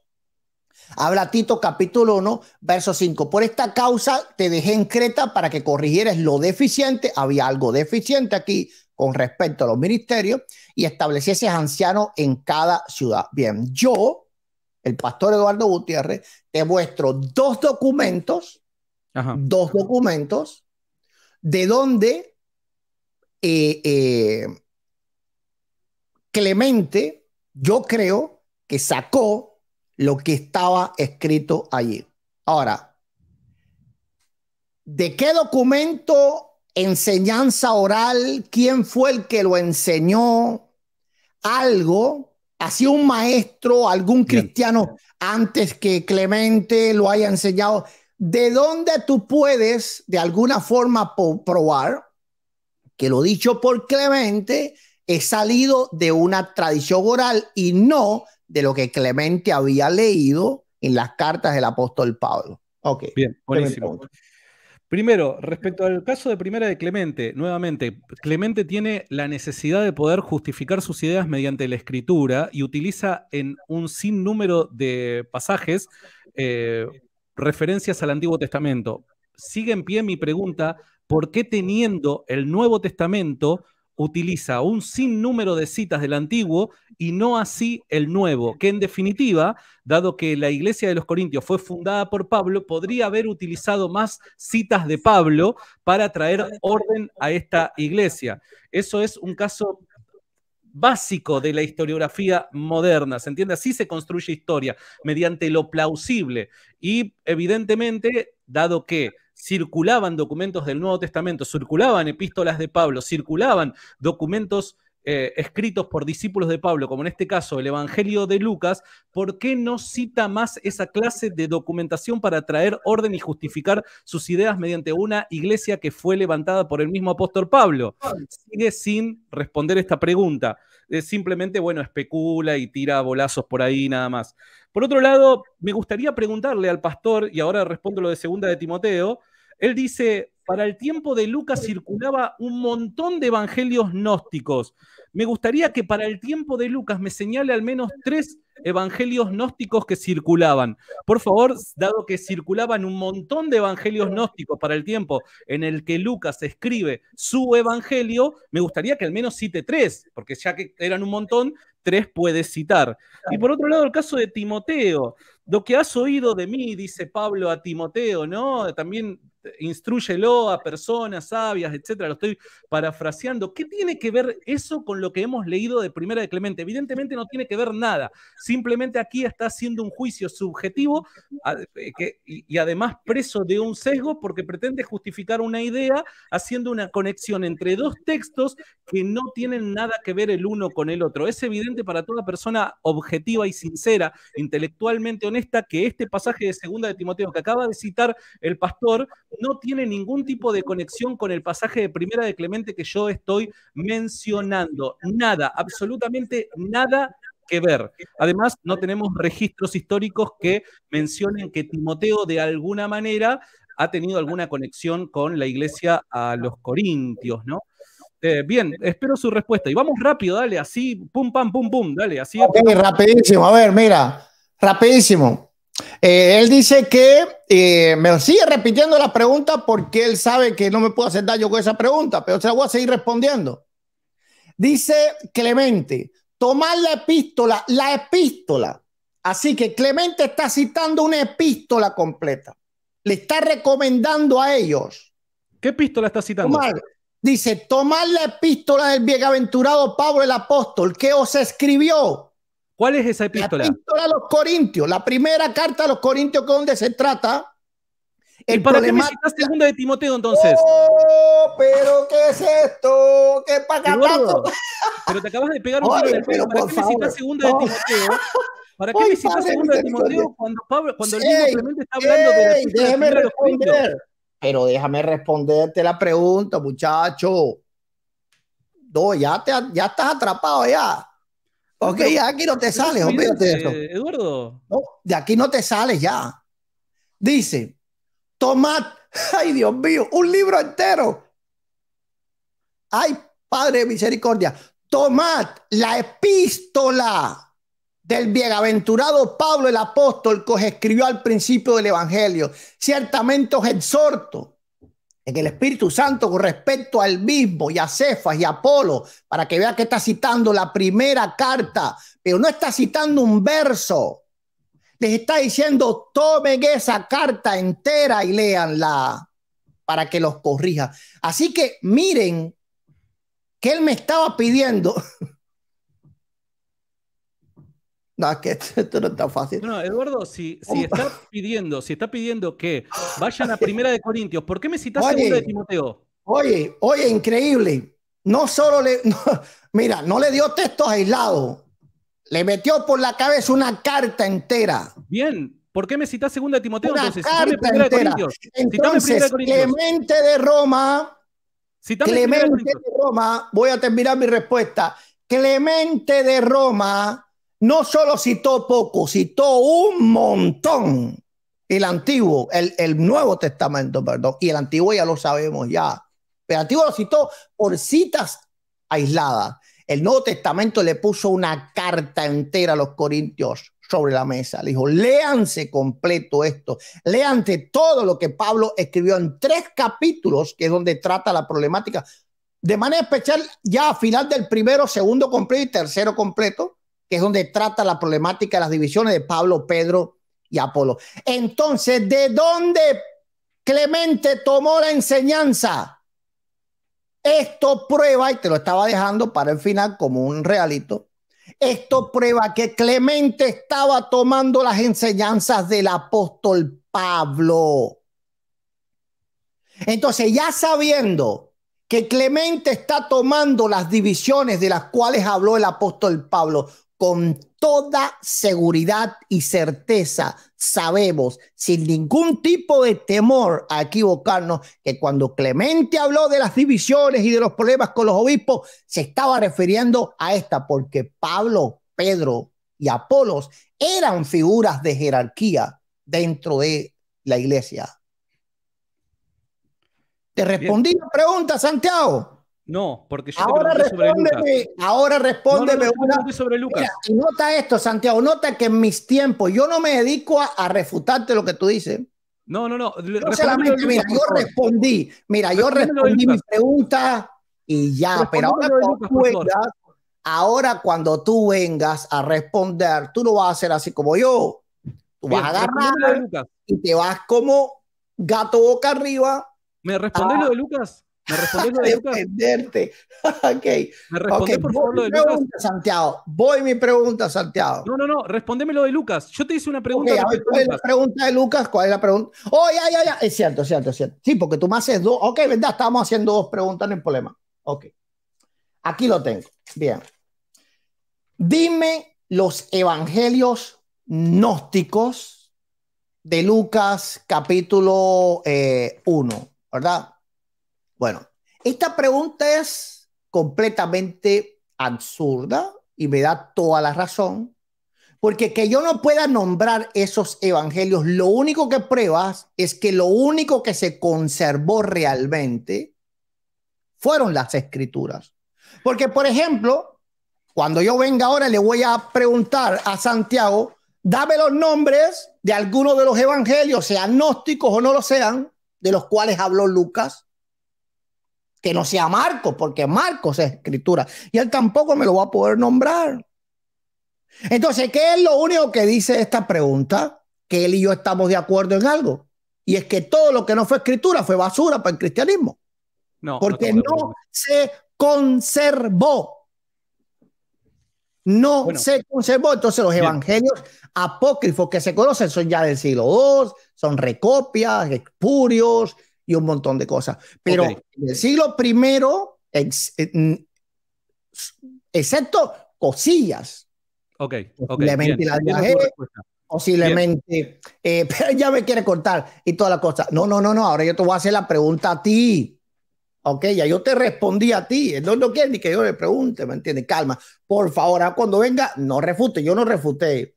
Pero Dedícate a la rápido, pregunta. yo te respondo rápido, dale, hacelo rápido. Pero yo no quiero que tú me respondas. Yo quiero que tú me respondas lo que yo te estoy preguntando. O sea, si es un debate. rápido. Hacelo rápido. Sí, pero mira, en un debate, si el moderador hace una pregunta a un grupo, el otro no puede venir, espérate, déjame refutar lo que él dijo. No, no, no, eso no funciona así. Yo tengo un tiempo que lo puedo utilizar como quiera. ¿eh? Esto es pregunta. Va, responde mi pregunta ahora, por favor. Dale, mándale la, la pregunta. Una pregunta, dale. Bien, una pregunta. Vamos. Aquí en el video tuyo, sí. aquí en el video tuyo, en el segundo, que es el que tengo aquí, que fue el que, el que cual paré el video cuando tú lo, eh, cuando tú entraste, no sé en qué minuto es, ok. ¿Por qué razón tú traes una carta que es sabida expuria? Ajá. ¿Verdad? Sí. ¿Y de dónde tú sacas que esto es una tradición oral? Segunda de Clementes 12, que es expuria. ¿De dónde tú sacas que es? ¿Por qué la traes si una carta expuria que tú ni siquiera sabes quién la escribió? Así que pudo haber sido el más hereje recontra hereje de los herejes, porque si no tendríamos que creer todos los documentos del siglo I y del siglo II, y yo creo que tú no crees eso. Entonces, ¿por qué tú traes algo que tú ni siquiera sabes quién lo escribió, ni siquiera tiene autoridad dentro del cristianismo, porque ni siquiera la Iglesia Católica cree esto como real, esta carta, y de dónde tú sacas que es una tradición oral? Bien, buenísimo. Respecto al tema de los evangelios gnósticos, es bueno que haya quedado claro que el pastor dice, para el tiempo en el que Lucas escribió estos evangelios, habían un montón de evangelios gnósticos, pero no me puede nombrar ni siquiera uno.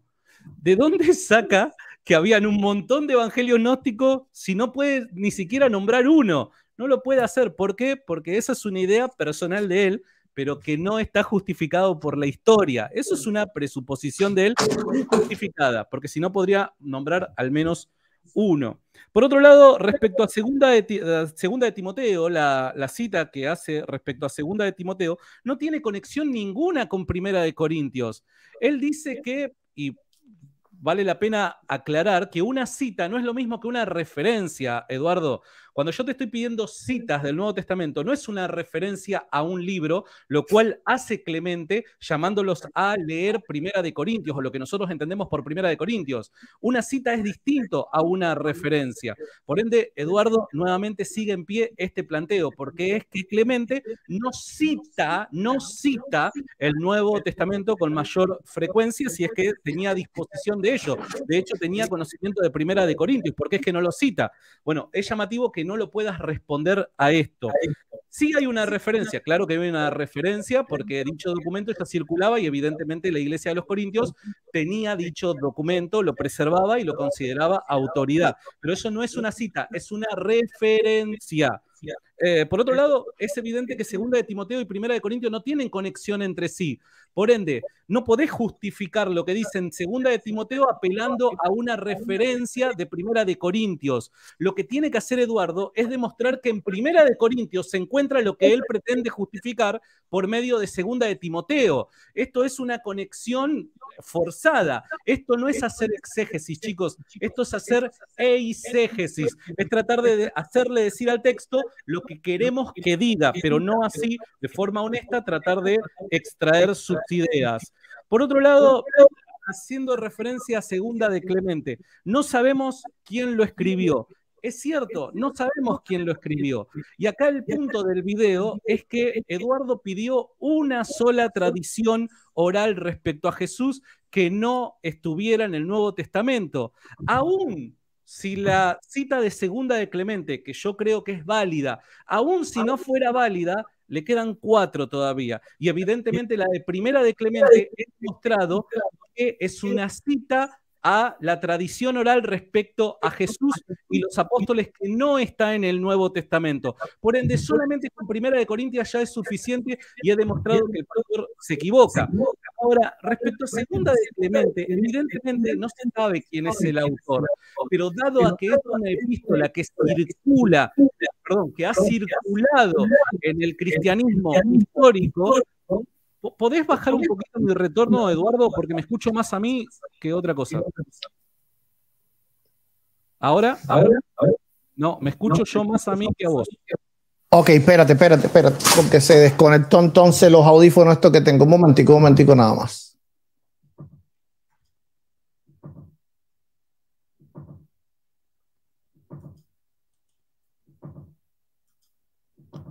A ver, habla ahí. Hola, hola, hola. Ahí está. Ahora oh, voy, a tener que, voy a tener que bajar más yo, esto. Yo, escucho bien, ¿eh? ¿Escuchas bien ahora? Yo escucho perfecto. Ok, está bien, continúa entonces. Bueno, entonces, pese a que nosotros no conocemos evidentemente quién escribió esta epístola, esta epístola circuló en el cristianismo primitivo, fue muy popular dentro de las iglesias primitivas y por ende era evidente que lo que estaba enseñando respecto a Jesús en la tradición era aceptado por los cristianos primitivos los cristianos primitivos no se engañaban con facilidad, particularmente los obispos, no eran engañados con facilidad. Claro que habían grupos desertores, sectas, que desertaban de la sana doctrina. Es evidente eso, pero había una raíz que permanecía, que preservaba la sana doctrina y que inmediatamente luego que estas comunidades o individuos aislados se corrían un poco de la, de la sana doctrina, estos los corregían públicamente llamándolos nuevamente a guardar los mandamientos del Señor transmitido por medio de los apóstoles. Por ende, si esta es una epístola que en el cristianismo ortodoxo eh, circuló con mucha popularidad, es porque pese a que se desconoce quién es el autor, evidentemente lo que dice fue considerado como legítimo porque se conocía tradición oral aparte de la escritura. De hecho, esto lo sostiene Juan cuando dice muchas otras cosas Jesús ha hecho y dicho, pero que no caben este, dentro de este libro. Evidentemente, a mí un montón de otras cosas que se contaban respecto a Jesús, tanto sus acciones como sus dichos, pero que no, no formaban parte de los evangelios. Entonces, evidentemente, esto era lo que ocurría. Se había transmitido esta tradición y se aceptaba como tal. Porque de hecho, el simple hecho de que nosotros no conozcamos quién es el autor de un determinado documento no lo vuelve automáticamente descartable al documento, sino a mí me gustaría que alguien me diga con contundencia y sin ningún tipo de objeción que permita ponernos en duda quién es que, que escribió la epístola a los hebreos, quién es el autor de Hebreos.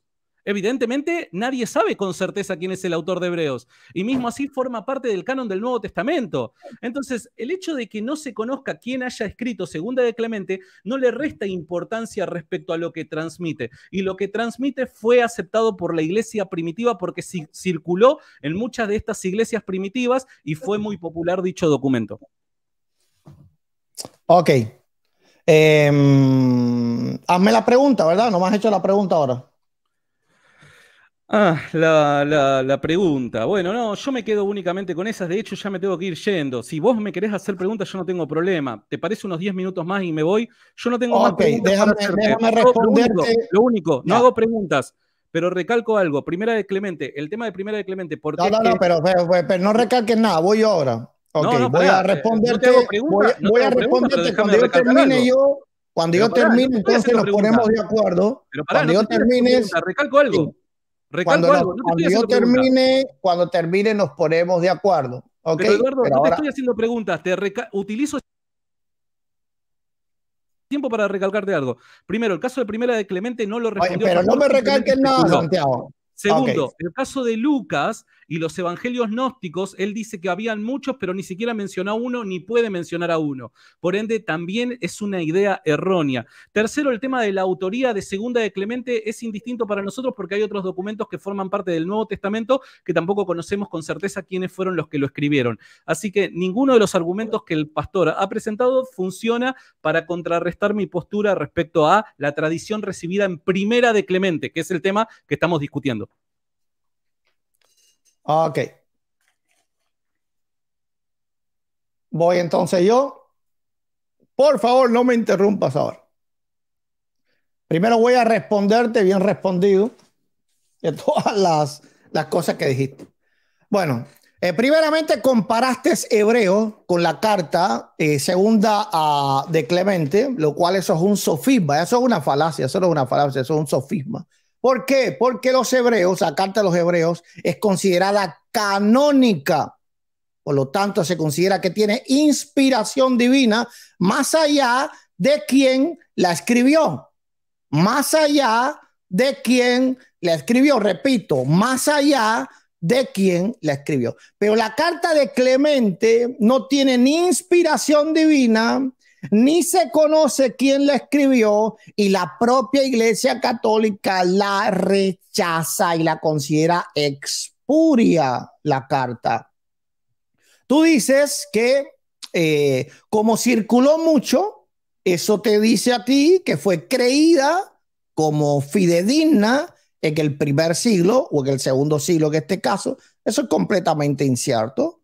Vuelvo y repito, hubieron muchísimos documentos de tremenda divulgación y ninguno de ellos o muy pocos de ellos fueron considerados por la iglesia como de lectura en las iglesias. Lo único que se tiene constancia era que se leía el pastor de Hermas, la Didaje, las cartas de los padres apostólicos, es decir, como Policarpo, eh, como Bernabé. Esto sí se tiene constancia, pero no hay ninguna constancia de que la carta segunda de Clemente hubiese sido una carta creída y tenida por autoridad dentro del cristianismo primitivo.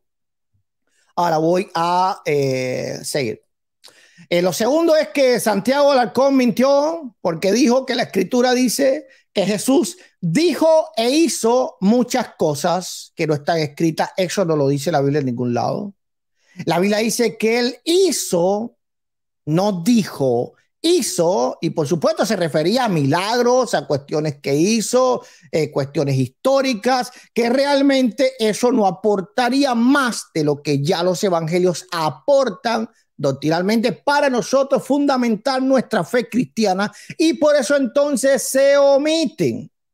Ahora, nada de lo que enseñó el Señor podía ser omitido. Porque si algo de lo que enseñó él fue omitido, entonces los evangelios no son escritos biográficos fidedignos del ministerio y de las enseñanzas de nuestro Señor Jesucristo. Para eso hay cuatro evangelios, no hay cuatro por gusto. ¿Por qué? Porque tres son sinópticos, para dar inclusive los hechos desde varias posturas, para que nosotros tengamos la mayor, por supuesto, entendiendo que es un documento escrito hace dos mil años, con escritura todavía, es muy arcaica, pero para que nosotros tengamos, por eso dice la escritura, que estas cosas se han escrito para que creáis y creyendo tengáis vida eterna. Así que la biografía de Cristo tiene que ser completamente fidedigna. ¿Qué es lo que trata de decir Santiago? Que tal vez Jesús nos enseñó algo muy importante que nosotros no sabemos. Es decir, la fe de nosotros está coja. Nada. ¿Qué clase de espíritu de Dios tú crees? ¿Qué clase de testigo de Cristo? ¿Qué clase de testigo de Cristo tú crees? Porque la escritura dice que Él nos guía a toda verdad, pero tú dices que Él nos guía a una parte o haces ver que nos guía una parte de la verdad, porque mucha verdad se perdió simplemente, no está, se fue porque a los evangelistas no les dio la gana escribirlo. La escritura dice claro que los que escribieron no escribieron por voluntad humana. Eh, vamos a no poner esto que decía Jesús. Sí, ¿qué te parece? No lo ponemos. No, eso no fue así. La escritura dice el apóstol Pedro, que no fue papa, fue papá, dijo bien claro que habían sido inspirados por el Espíritu Santo. Ahora tú dices que no habían evangelios gnósticos en el primer siglo. Claro que lo había. Claro que había enseñanzas gnósticas. Tú me estás diciendo que yo exponga alguna y si yo no expongo alguna, entonces prueba de que no existían. Sino entonces, ¿a qué viene tu pregunta? ¿A cuál es el motivo de tu pregunta? ¿Existían o no existían? Que yo no lo sepa, eso es simplemente un argumento de, no sé, completamente falaz. Entonces, sí existían, sí, y Juan lo dice claramente, lo dice claramente, cuando dice que algunos creían que Jesús no había venido en carne, y esos eran pensamientos completamente gnósticos, y nota que es en el mismo tiempo que se escribe la primera carta a los Corintios, a los Corintios de Clemente, y porque Juan escribe bajo, pero por los años 90, ¿verdad? Y antes de que se escribiera la carta apócrifa que tú nos has traído el día de hoy. Ahora, tú estás diciendo que las referencias no son citas. En todo el Nuevo Testamento hay muy pocas citas, porque se refiere a una cita a algo que sea más textual. Lo que existe en su mayoría en el Nuevo Testamento son referencias. Y esas referencias se tienen como fidedignas de mención del Antiguo Testamento en el Nuevo Testamento. Inclusive hay Biblias de referencia como la Thompson y muchas Biblias que se encargan específicamente de hablar de las referencias, pero tú estás diciendo, yo le pregunté por qué, no, él me dijo, ¿por qué no eh, Clemente no usó el Nuevo Testamento? ¿Por qué citó tanto el Antiguo Testamento? Citarlo en base a referencia es, es suficiente para decir que él usó el Nuevo Testamento. De lo contrario, tú estarías diciendo que Jesús no citó el Antiguo Testamento porque la mayoría de las veces que él habló del Antiguo Testamento fueron referencias, no citas textuales. Tú estarías diciendo que los apóstoles casi no citaron el Antiguo Testamento porque la mayoría de las veces que ellos citaron el Antiguo Testamento no fueron citas textuales, sino referencia. Eso estuvo macabro, totalmente macabro. Voy a seguir. Ok. Tú dices, ¿verdad? Que la primera carta a los Clemente era claramente una tradición oral. ¿Cómo es eso si la carta a los Clementes está escrito y tú devaluaste por completo como tradición oral todo lo que Lucas había dicho que había sido escrito? ¿Cómo ahora me vienes a decir que la primera carta de los Clementes es prueba de tradición oral en la iglesia? Si ya está escrito, según tú, ha dejado de ser tradición oral y se convirtió también en escritura. Así que esperamos que tú busques una tradición oral, porque según tú, eso no es tradición oral. Y no quiero que te me eches para atrás ahora, ¿eh? No quiero que te me eches para atrás ahora. Ahora, si tú te refieres para ayudarte un poco, para ayudarte a salir del hoyo, y tú te refieres un poco, ya voy a terminar, ya voy a terminar. Si no, es que tú hablaste cantidad y paraste, si volviste, dijiste, dame más tiempo todavía para ellos poner más, no voy a preguntarte y volviste otra vez a recargar, así que aguántate ahora. ¿Ok? Ok. Ahora, tú dices que yo me mantengo sin mencionar uno de esos evangelios hablado en el libro de Lucas. Bueno, porque la tradición oral es basura. Por eso no lo puedo mencionar. Pero yo te puedo mencionar un evangelio que estaba antes que Lucas, que tú mismo lo mencionaste, y es Marcos. ¿Cuál es la diferencia entre Marcos y los basuras que ni yo ni tú podemos mencionar exactamente? Que Marcos es palabra de Dios, es escritura, y los que tú quieres que yo mencione son basura. Y ese, ese es el asunto y el problema. Entonces ahora... Dale, redondea, dale, dale. Ah, ya, ya, ya, ya, ya, ya, ya, ya. Bien, no, bien, buenísimo. Pusiste, hablaste un montón de cosas. espérate, espérate, espérate, espérate, espérate, espérate, Edu, dale. bueno, te digo. Espérate, espérate, espérate, antes que sigas, porque tú dijiste, antes que sigas, porque tú dijiste que ahora ya vamos a tener un tiempo ya de conclusiones, porque si tú vuelves a refutar, yo te voy a volver a refutar después, te lo voy a terminar. Ok. está bien. Em, vamos entonces a poner. la pregunta. Me nace rápidamente. Espérate, espérate, espérate, Santi, Santi, vamos a organizarnos. vamos a organizarnos. ¿Qué es lo que vamos a hacer? va, a ser, dale. va a ser 10 minutos tú, 10 minutos yo. 10 minutos no. No, no, no, vamos rápido. ¿Cuánto entonces?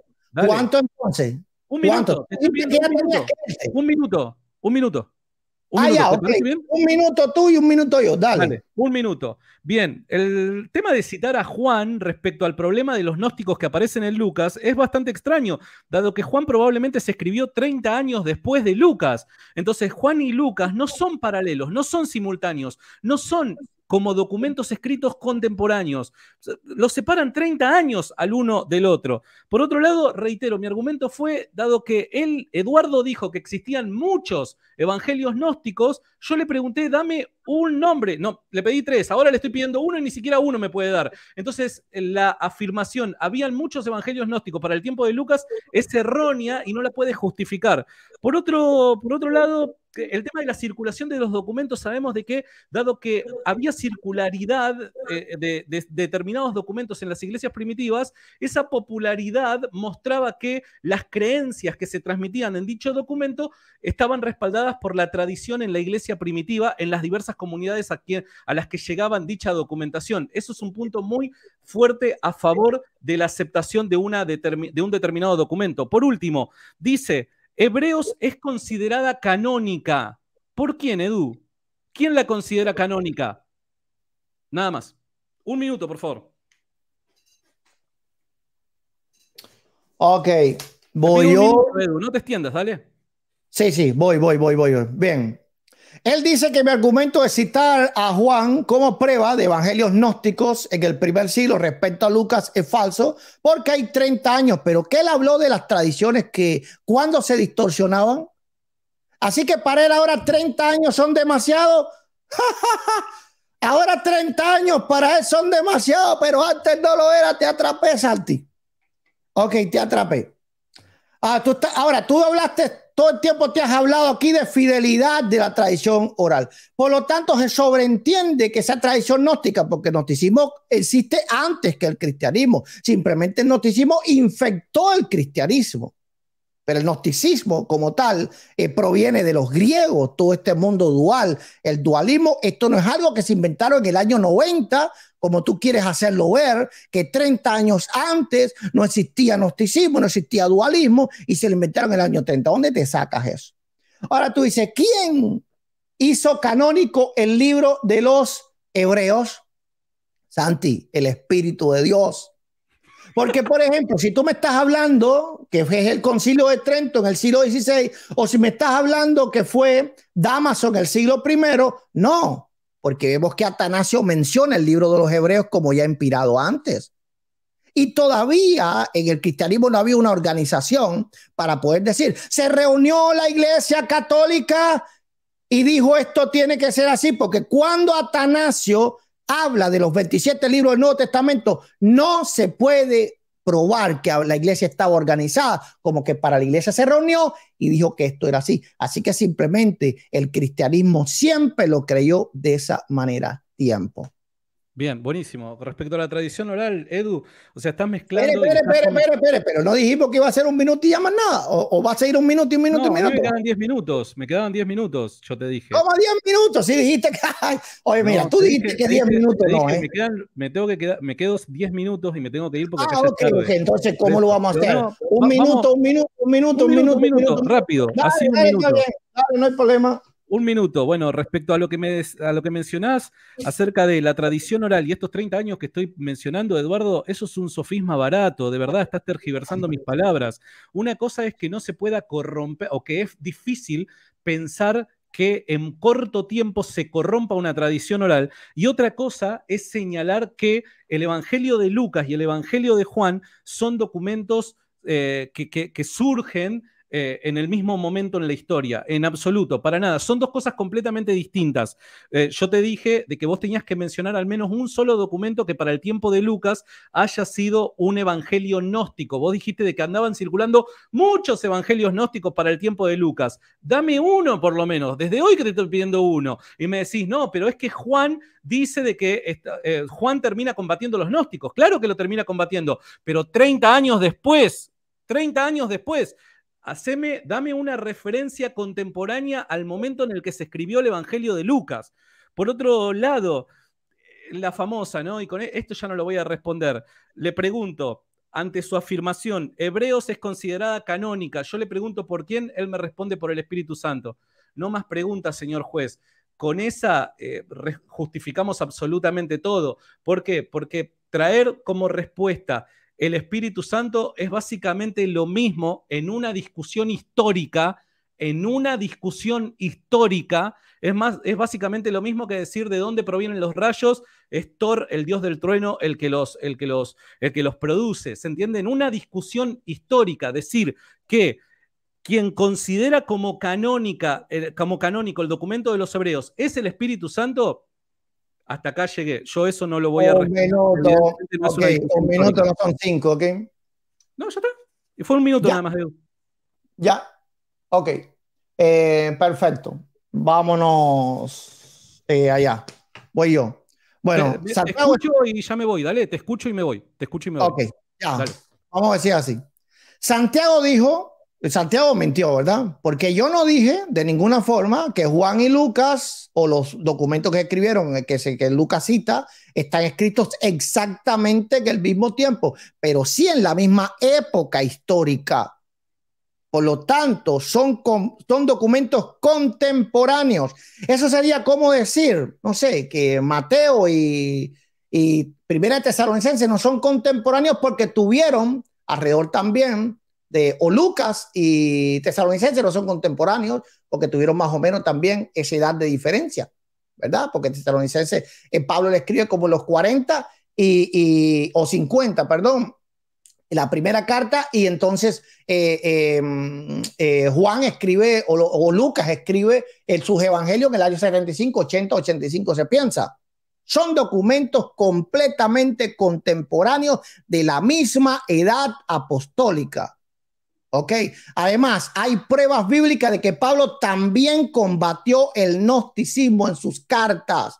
En un minuto no tengo tiempo, para citar como Pablo lo combatió, pero se, sabe que existía gnosticismo dentro de los cristianos, inclusive había proto-gnosticismo dentro del cristianismo, así que no, él, lo que dijo él sí fue un, argumento completamente eh, barato. Lo último que dijo ni siquiera, oye, que yo no pude mencionar un libro gnóstico del siglo I, como él no me puede mencionar ningún libro que no lo sea. ¿Por qué? Porque la tradición oral era basura a punto de que no se conservó. ¿Qué se conserva de los apóstoles? Solamente una cosa, la escritura. Así que yo me voy a basar mi fe en lo que la iglesia conservó fielmente, copiándolo y copiándolo y copiándolo, y ha llegado hasta nuestros días. Que el Espíritu Santo es el que canoniza o no. Bueno, entonces, ¿cómo él entonces inspiró? ¿Por qué qué cosa es canónico si no inspirado?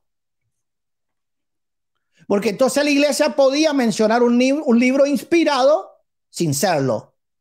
Desde el hecho que el Espíritu Santo inspira un libro, ese libro es canónico. Bien. Ahora que luego el Espíritu Santo guía a la iglesia a entenderlo, ya eso es otra cosa. Pero canónico es inspirado. Bien. Por lo tanto, sí, sí es el Espíritu Santo. me dijiste, que ya te iba. ¿eh? Muchas gracias por tu tiempo. Eh, gracias a todos los que están presentes por, por su tiempo.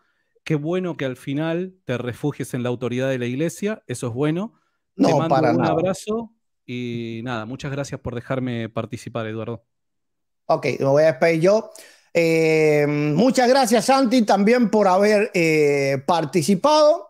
Eh, no, yo no me refugio en la autoridad de una iglesia que apostató de la fe, yo me refugio en la palabra de Dios. Pero acabaste de decir de que la iglesia ha declarado. Solamente en la palabra de Vos mismo apelaste a la canonicidad por medio de la iglesia. Que esa palabra, los que crean que esa palabra son iglesia. Los que no han creído un evangelio. Vos la autoridad de la iglesia. Vos mismo a la autoridad de la iglesia. el Espíritu Santo es el que guía.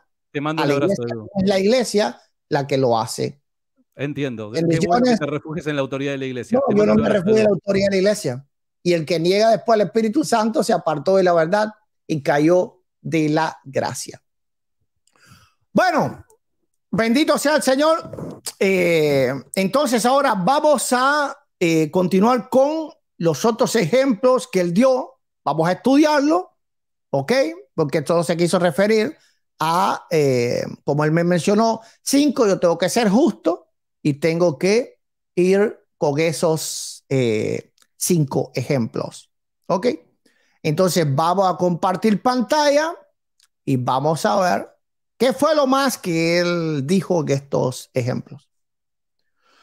Bueno, la segunda carta a los Clemente la segunda carta de Clemente a los Corintios es una carta expuria, falsa, fake, que se inventó el catolicismo porque tiene aquí pues muchísima falsa doctrina apoyando el catolicismo romano. Pero incluso la Iglesia Católica tuvo que decir que la carta no era verdadera, era completamente expuria. Yo no voy a hablar nada de lo que él dijo, yo respeto todo lo que él dijo, así que yo en este tiempo no voy a contradecir no voy a refutar, no voy a hacer, yo voy a ir para los argumentos siguientes. Lo que hablamos ya está hablado y punto. ¿Ok?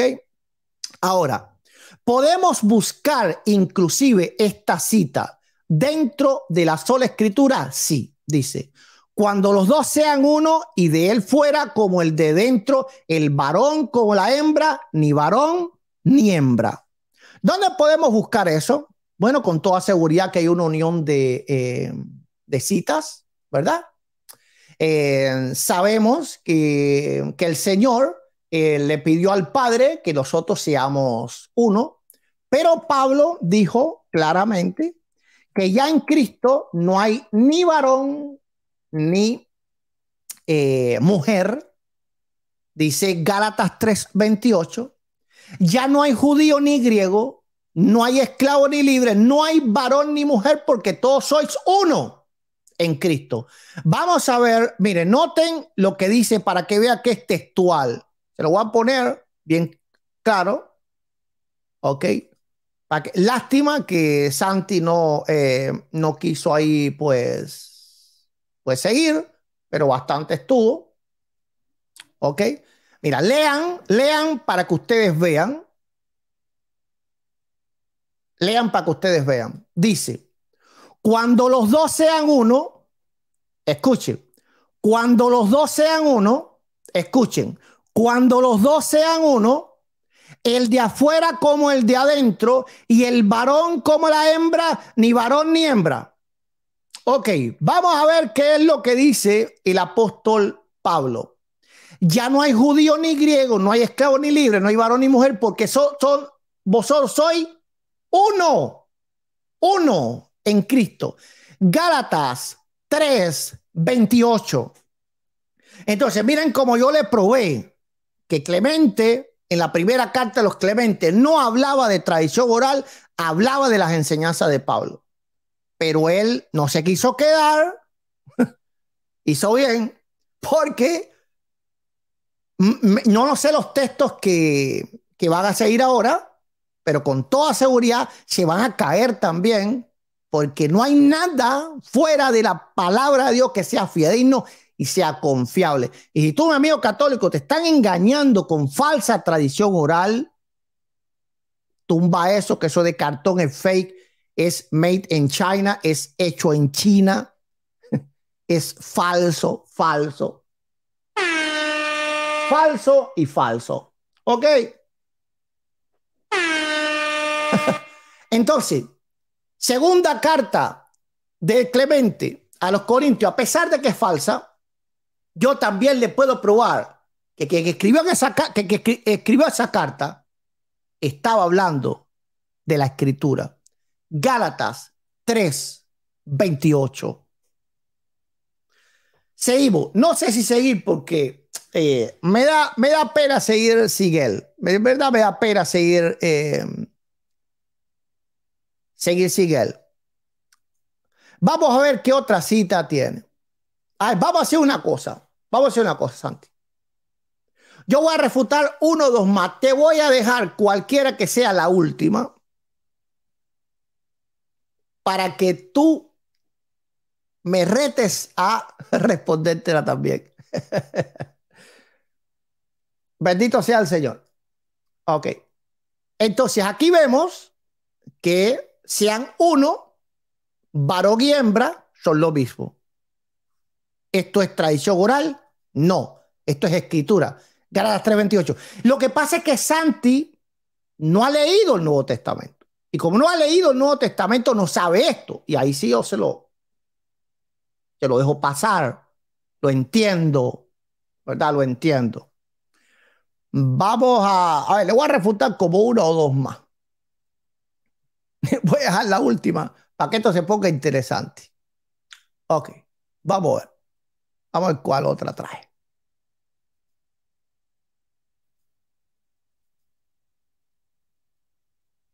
Ok, ahora trae esta de Justino Mártir. Vamos a ver, dice, por lo cual también nuestro Señor Jesucristo dijo, en todo lo, lo que os aprendo, ok, en eso os juzgaré. Es decir, ¿qué es lo que estaba diciendo el, ¿Qué es lo que estaba diciendo el, Señor? Que lo que él estaba enseñando, eso él, eso va a ser, era lo que nos iba a juzgar a los hombres. Esto es tradición. Santi, ¿pero qué es esto, por favor?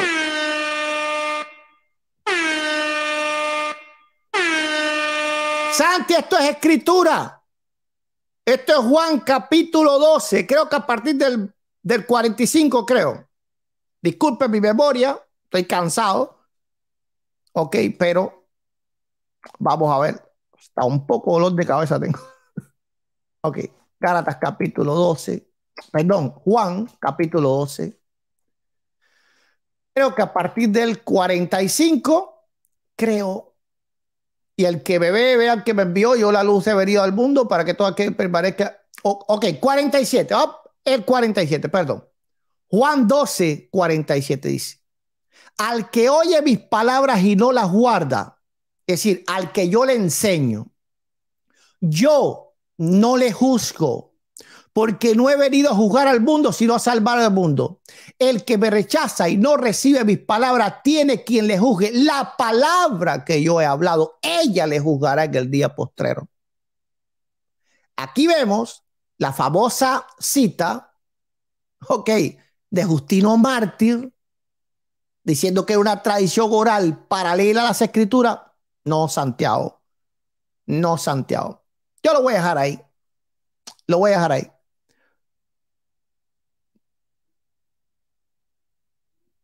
Ok, ¿qué fue lo que pasó aquí? Trifón dice lo siguiente. Oh. Ok, eh, lo voy a dejar ahí porque me, da pena, me da pena refutarlo sin, sin que él estar ya eh, presente, ya que vino ya. Santiago, eso no existe, por favor. Eso no existe. A ver, uno más. Dice Santiago Garzón. Sí, no más.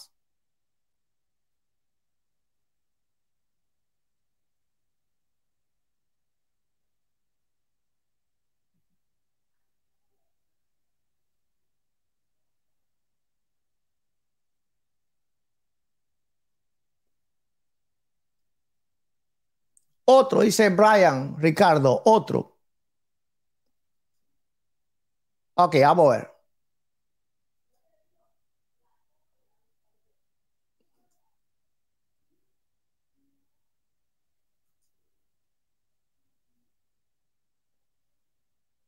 Nah, nah. No, no puede ser, por favor. No, esto es imposible que Santiago, Isaías, Isaías, por favor, enciéndeme el ventilador de techo aquí, me estoy jugando en calor. y ya ahora sí me voy. ¿eh? Una cita de Clemente de Alejandría, el del ventilador de arriba. Esa. Thank you. Una cita de Clemente de Alejandría dice: Mi misterio es para mí y para los hijos de mi casa. ¿Podemos buscar esto en la escritura? Oh, claro. Lucas 8. Lucas 8. Ok. Es el pasaje que dice, eh, a los de afuera les hablo en parábolas, pero a vosotros no. Lucas 8. Ok, vamos a Lucas 8.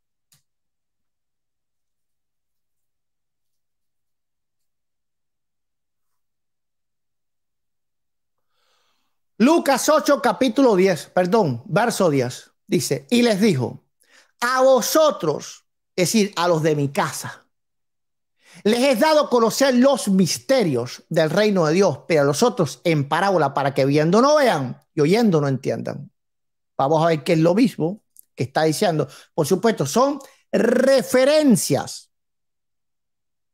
Oye, pero para esto, para esto, increíble. Mi misterio, ¿ok? ¿Qué es lo que dice? Los misterios del reino de Dios. Escucha esto. A vosotros he dado a conocer los misterios del reino de Dios. Vamos a ver qué dice Clemente. Mi misterio es para mí y para los hijos de mi casa. ¿Qué es lo que dice Lucas 8:10? A vosotros he dado a conocer los misterios del reino de Dios, pero a nosotros por parábolas, para que viendo lo vean y oyendo lo entiendan. Pero Santiago, ve, pero no ve y oye, pero no oye hasta que no se arrepienta de todos sus pecados. Llamamos en Cristo y oramos por él, pero está requete, requete, recontra mal. Ok. Bueno, espero que les haya gustado. Espero. Eh,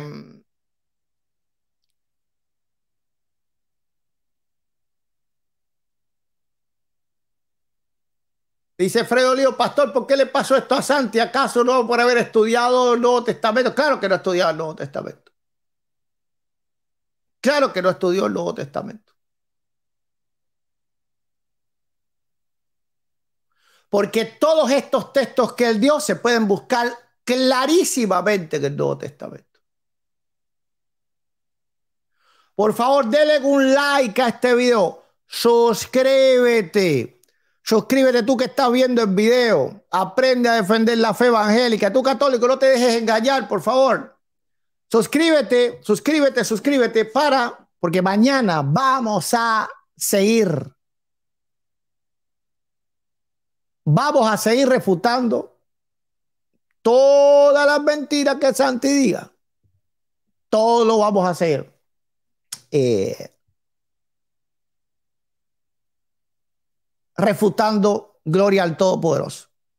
Así que ya saben, ¿verdad? Ninguna de estas citas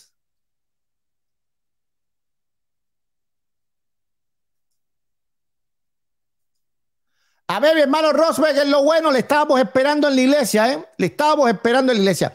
Ninguna de estas citas son válidas para probar la tradición oral. Se los digo de todo corazón, amigos católicos, salgan de esa mentira ya, salgan corriendo ya. Sola escritura, salgan corriendo ya. Todas esas citas las puedo yo buscar en la escritura y no solo yo, cualquiera que haya leído el Nuevo Testamento.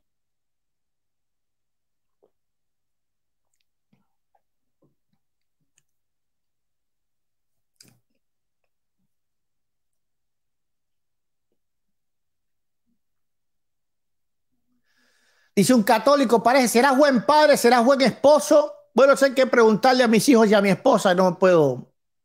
Mira la vida en tu ojo primero. Bendiciones, mi hermano. Respuestas evangélicas. Dios te bendiga, mi hermano Fray. Qué clase de, de debatico esto. Gloria a Dios.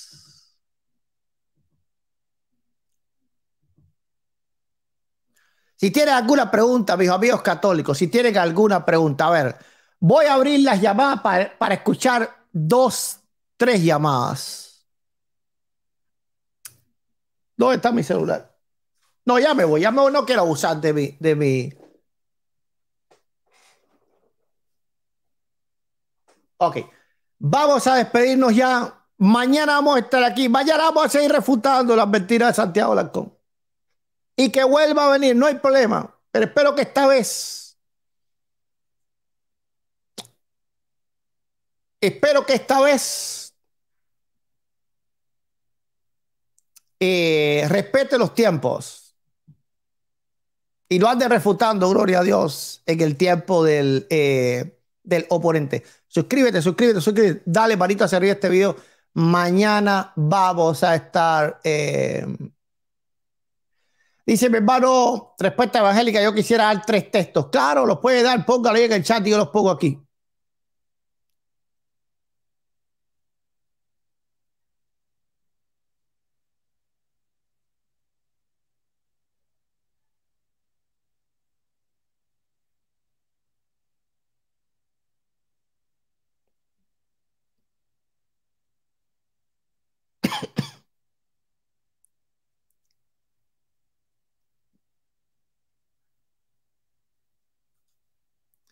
A ver, mi hermano Alex Moreno, que el Espíritu Santo yo confío, mi fe está en él. No, mi fe no es racional, no es racionalista.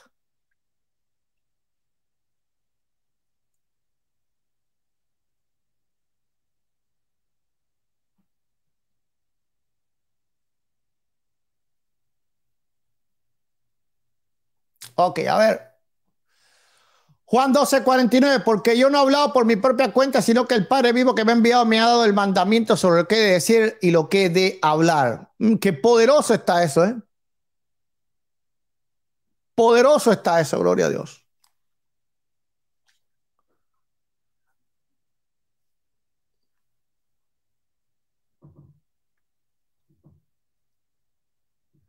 Dice Francisco Najera.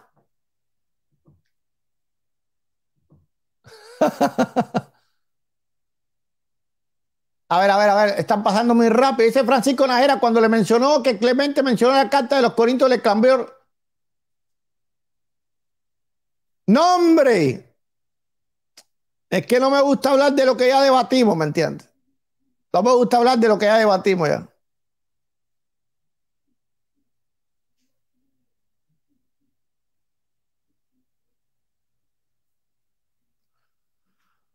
Dale like al video, compártelo. Aquí le vamos a enseñar la verdad de la Biblia, hermanos. Y amigos católicos, le vamos a enseñar la verdad de las escrituras, por favor. Aquí en Reflexión el Pastor no engañamos, no mentimos. Aquí en Reflexión el Pastor predicamos la palabra de Dios. Vamos a despedirnos. Dale una manito hacia arriba al video. No quisiera irme, pero ya tengo dos horas 41 minutos y ya estoy fatigado ya. Pero mañana vamos a estar aquí a la misma hora. Así que suscríbete que mañana vengo a refutar. ¿Y dónde está mi hermano eh, Dani Totocayo? Gloria a Dios.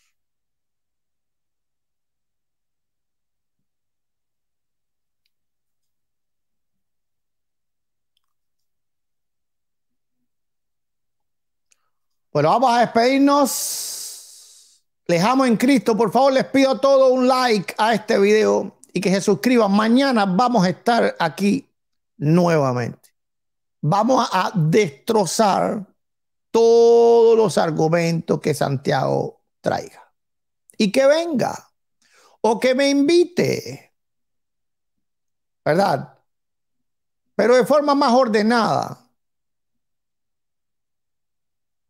respetando los tiempos, respetando eh, lo que acordamos, no a la forma toribia. Sin más, me despido y nos vemos en el próximo video. Amén y amén.